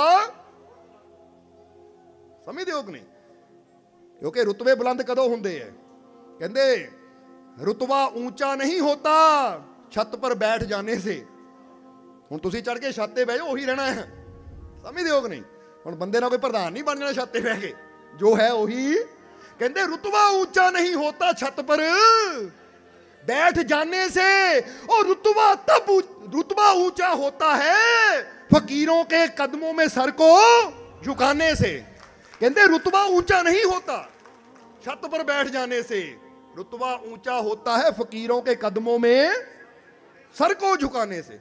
ਜੇ ਰਤਬੇ ਬੁਲੰਦ ਕਰਨੇ ਐ, ਤਾਂ ਜਿਹਦਾ ਸਿਰ ਸਤਗੁਰ ਦੇ ਚਰਨਾਂ ਝੁਕ ਜਾਂਦਾ ਹੈ ਫਿਰ ਰੱਬ ਦੀ ਨਜ਼ਰਾਂ 'ਚ ਰਤਬਾ ਬੁਲੰਦ ਹੋ ਜਾਂਦਾ ਹੈ ਕਰਨੇ ਕਿ ਨਹੀਂ ਰਤਬੇ ਬੁਲੰਦ? ਕਿ ਆਪਣੇ ਅੰਦਰ ਇਹ ਗੁਣ ਪੈਦਾ ਕਰੀਏ। ਕਰਨੇ ਹੈ ਕਿ ਨਹੀਂ? ਇਸ ਲਈ ਆਓ ਹੁਣ ਟਾਈਮ ਕਾਫੀ ਹੋ ਗਿਆ, ਸਤਸੰਗ ਨੂੰ ਥੋੜਾ ਸਮਾਪਤੀ ਵੱਲ ਵੀ ਲੈ ਕੇ ਚਲੀਏ। ਕਿ ਜੇ ਜੀਵਨ 'ਚ ਕਾਮਯਾਬੀ, ਸਫਲਤਾ ਚਾਹੀਦੀ ਹੈ ਤੇ ਕਰ ਫਿਰ ਕਵਾਂਗੇ ਕਿ ਆਪਣੇ ਅੰਦਰ ਇਹ ਗੁਣ ਲਿਆਈਏ। ਔਰ ਦੂਸਰਾ, ਜਿੱਦਾਂ ਕਿਹਾ ਜਾਂਦਾ ਹੈ ਨਾ, ਕਿਸੇ ਨੇ ਇਹ ਵੀ ਸਵਾਲ ਪੁੱਛਿਆ ਸ਼੍ਰੀ ਕ੍ਰਿਸ਼ਨ ਤੋਂ ਹੀ ਕਿ ਮਹਾਰਾਜ ਇਹ ਦੁਨੀਆ 'ਚ ਹਰ ਇਨਸਾਨ ਨੂੰ ਸਫਲਤਾ ਕਿਉਂ ਨਹੀਂ ਮਿਲਦੀ दुनिया में ज्यादातर इंसानों को सफलता क्यों नहीं मिलती क्योंकि ज्यादातर इंसान है ਜਿਹੜੇ ਦੇਖਿਆ ਨਾ ਸਫਲ ਹੋ ਹੀ ਨਹੀਂ ਪਾਉਂਦੇ ਬਸ ਆਪਣੀ ਅਸਫਲਤਾ ਦਾ ਰੋਣਾ ਰੋਂਦੇ ਰਹਿੰਦੇ ਆਪਣੇ ਦੁੱਖਾਂ ਦਾ ਰੋਣਾ ਰੋਂਦੇ ਰਹਿੰਦੇ ਆ ਤਾਂ ਕੋਈ ਚਾਹੁੰਦੇ ਹੀ ਹੁੰਦੇ ਜਿਹੜੇ ਸਫਲ ਹੋ ਜਾਂਦੇ ਆ ਤਾਂ ਫਿਰ ਉਹਨਾਂ ਨੂੰ ਸਫਲਤਾ ਕਿਉਂ ਨਹੀਂ ਮਿਲਦੀ ਤਾਂ ਉਹਦਾ ਜਵਾਬ ਪਤਾ ਕੀ ਦਿੱਤਾ ਇਹ ਵੀ ਸਾਡੇ ਸਾਰਿਆਂ ਵਾਸਤੇ ਨਾ ਬੜੀ ਸਮਝਣ ਦੀ ਗੱਲ ਹੈ कि संसार में ज्यादातर इंसानों को सफलता क्यों नहीं मिलती तो श्री कृष्ण ने किया क्योंकि उनमें आगे बढ़ने का साहस और मंजिल को पाने का विश्वास नहीं होता ਕਹਿੰਦੇ ਤਾਂ ਹੀ ਬੰਦਾ ਰਹਿ ਜਾਂਦਾ ਹੈ ਮੰਜ਼ਿਲ ਤਾਂ ਪਤਾ ਹੁੰਦੀ ਕਿ ਮੇਰੀ ਮੰਜ਼ਿਲ ਕੀ ਹੈ ਪਰ ਸਾਹਸ ਨਹੀਂ ਹੁੰਦਾ ਕਿ ਉਧਰ ਕਦਮ ਵਧਾਈਏ ਦੁਨੀਆ ਦਾ ਡਰ ਜਾਂ ਅੰਦਰ ਹੀ ਸਾਡੇ ਡਰ ਕੀ ਹੋਏਗਾ ਕੀ ਬਣੇਗਾ ਉਹ ਡਰ ਹੀ ਸਾਨੂੰ ਕਹਿ ਦਿਓ ਰੋਕ ਲੈਂਦਾ ਹੈ ਕਿਉਂਕਿ ਅੱਗੇ ਵਧਣ ਵਾਸਤੇ ਨਾ ਮੰਜ਼ਿਲ ਦੀ ਤਰਫ ਜਾਣ ਵਾਸਤੇ ਸਾਹਸ ਦਾ ਹੋਣਾ ਜ਼ਰੂਰੀ ਹੈ।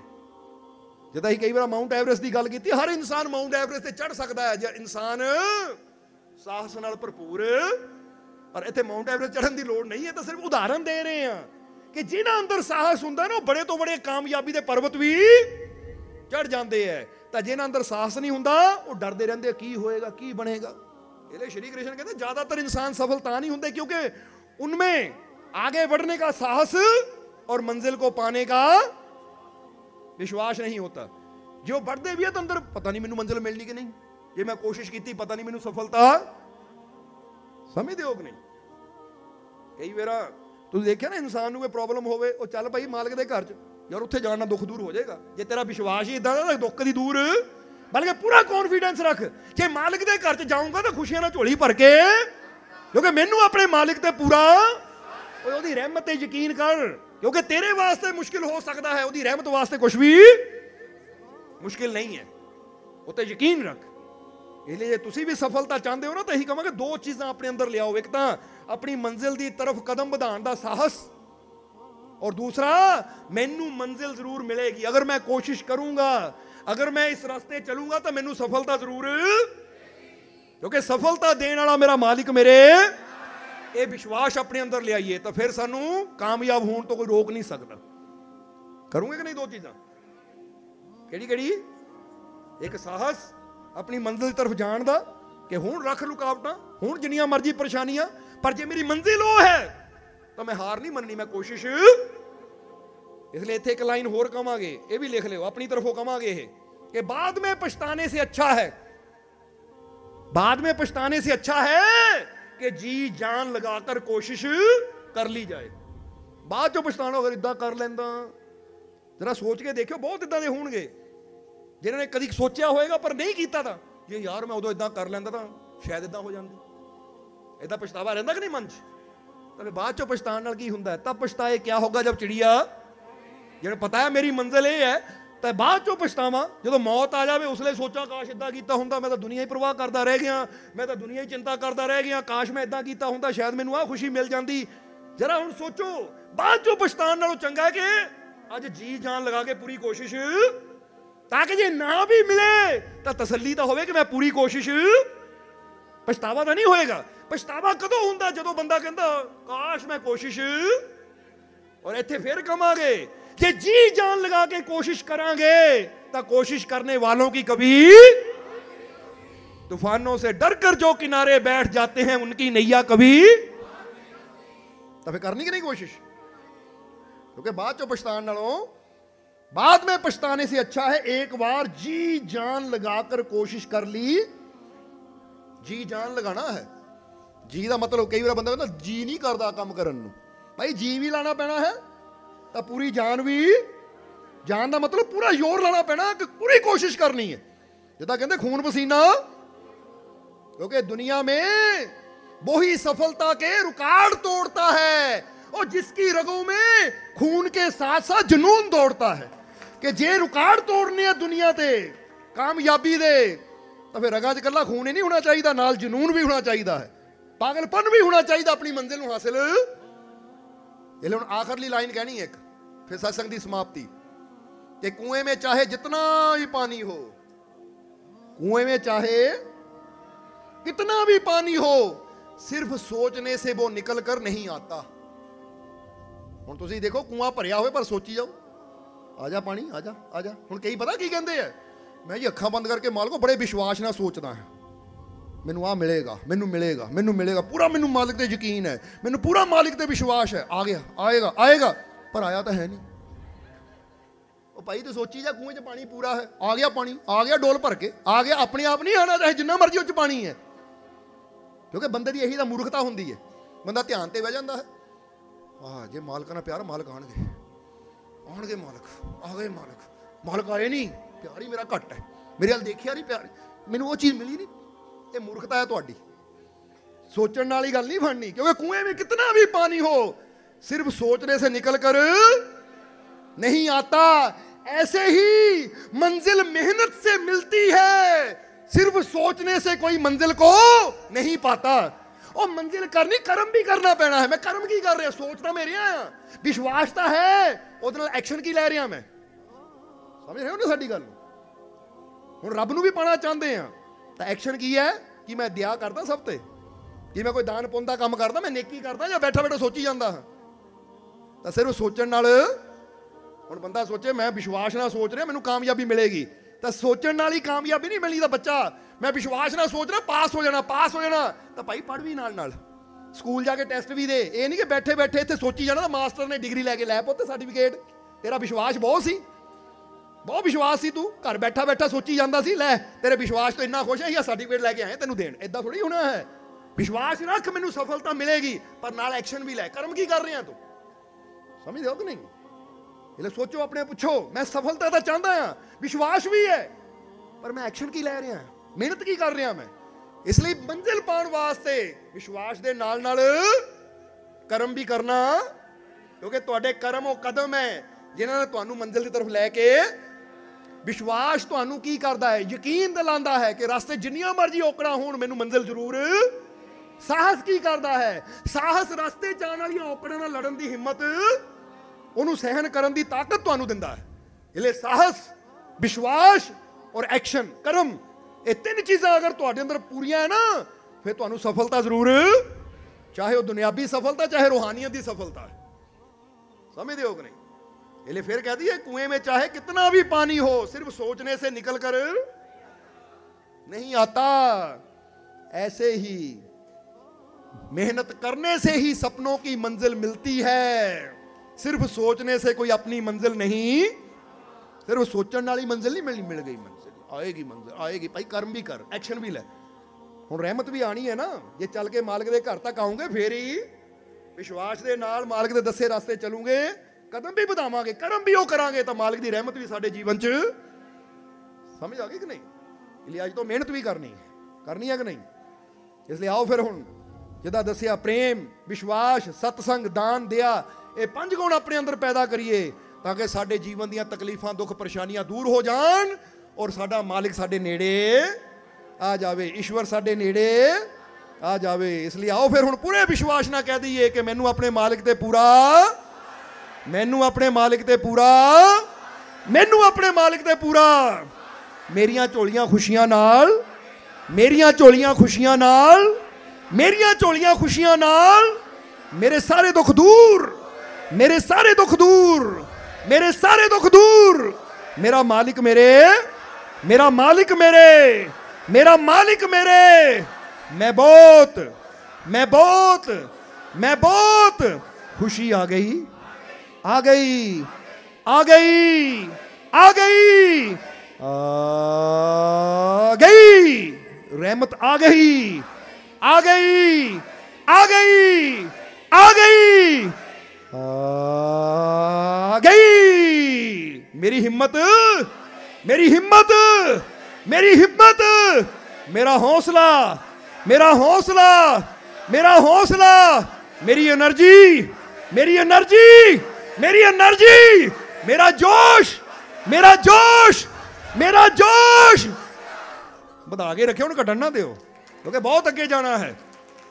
जिंदगी में कभी हार मत मानना क्योंकि अभी तो तुम्हें बहुत आगे जाना है जो कहते हैं तुमसे नहीं होगा उनको भी करके उनको भी करके उनको भी करके दिखाना कि नहीं बस डरना चिंता करनी बंद बस अपने मालिक ਦੇ ਵਿਸ਼ਵਾਸ ਕਰਨਾ ਸ਼ੁਰੂ ਕਰੋ ਤਾਂ ਬਹੁਤ ਅੱਗੇ ਲੈ ਕੇ ਜਾਣਾ ਮਾਲਕਾਂ ਨੇ ਕਿਉਂਕਿ ਜਿਹੜਾ ਉਹਦਾ ਹੋ ਜਾਂਦਾ ਫਿਰ ਉਹਨੂੰ ਫਿਕਰ ਹੁੰਦੀ ਹੈ ਕਿ ਇਹਨੂੰ ਕੱਖਾਂ ਤੋਂ ਲੱਖਾਂ ਤੱਕ ਲੈ ਕੇ ਜਾਣਾ ਹੈ ਫਰਸ਼ ਤੋਂ ਅਰਸ਼ ਤੱਕ ਲੈ ਕੇ ਜਾਣਾ ਹੈ ਇਹ ਲਈ एक तरफ ये जमाना है जो उड़ते हुए पंछी को तीर मारकर नीचे गिराता है और दूसरी तरफ मेरा मालिक है जो बाह पकड़कर हमको फर्श से अर्श पर ले जाता है इसलिए मालिक दी बाह पकड़ लो ਉਚਾਈਆਂ ਤੇ ਮਾਲਕ ਜ਼ਰੂਰ ਲੈ ਕੇ ਜਾਣਗੇ ਵਿਸ਼ਵਾਸ ਰੱਖੋ ਆਉਣ ਵਾਲਾ ਹਰ ਪਲ ਤੁਹਾਡੇ ਵਾਸਤੇ ਕਾਮਯਾਬੀ ਸਫਲਤਾ ਖੁਸ਼ੀਆਂ ਭਰਿਆ ਹੋਏਗਾ ਸੋ ਮਾਲਕ ਆਪਣੀ ਕਿਰਪਾ ਦਇਆ ਮਿਹਰ ਰਹਿਮਤ ਬਖਸ਼ਿਸ਼ ਹਮੇਸ਼ਾ ਤੁਹਾਡੇ ਤੇ ਬਣਾਏ ਰੱਖਣ ਤੁਹਾਡੀਆਂ ਸਭ ਦੀਆਂ ਤਕਲੀਫਾਂ, ਦੁੱਖਾਂ ਦਰਦਾਂ ਨੂੰ ਮਾਲਕ ਦੂਰ ਕਰਨ, ਤੁਹਾਡੀਆਂ ਸਭ ਦੀਆਂ ਚੋਲੀਆਂ ਨੂੰ ਮਾਲਕ ਖੁਸ਼ੀਆਂ ਨਾਲ ਭਰਪੂਰ ਕਰਨ, ਆਉਣ ਵਾਲਾ ਹਰ ਪਲ ਤੁਹਾਡੇ ਵਾਸਤੇ ਕਾਮਯਾਬੀ, ਸਫਲਤਾ, ਤੰਦਰੁਸਤੀ ਲੈ ਕੇ ਆਵੇ। ਦਿਨ ਦੁਗਣੀ, ਰਾਤ ਚੌਗਣੀ ਮਾਲਕ ਤੁਹਾਨੂੰ ਤਰੱਕੀ ਦੇਣ। ਇਹੀ ਸਾਡੀ ਉਸ ਮਾਲਕ ਦੇ ਚਰਨਾਂ ਚ ਅਰਦਾਸ ਬੇਨਤੀ ਹੈ। ਔਰ ਹੁਣ ਅੰਤ ਵਿੱਚ ਤੁਹਾਡੇ ਸਭ ਦੇ ਅੰਦਰ ਵਾਸਤੇ ਉਸ ਮਾਲਕ ਨੂੰ ਅਸੀਂ ਪ੍ਰਣਾਮ ਕਰਦੇ ਹਾਂ। ਸਾਡਾ ਪ੍ਰਣਾਮ ਸਵੀਕਾਰ ਕਰੋ। ਜੈ ਮਾਲਕਾਂ ਦੀ।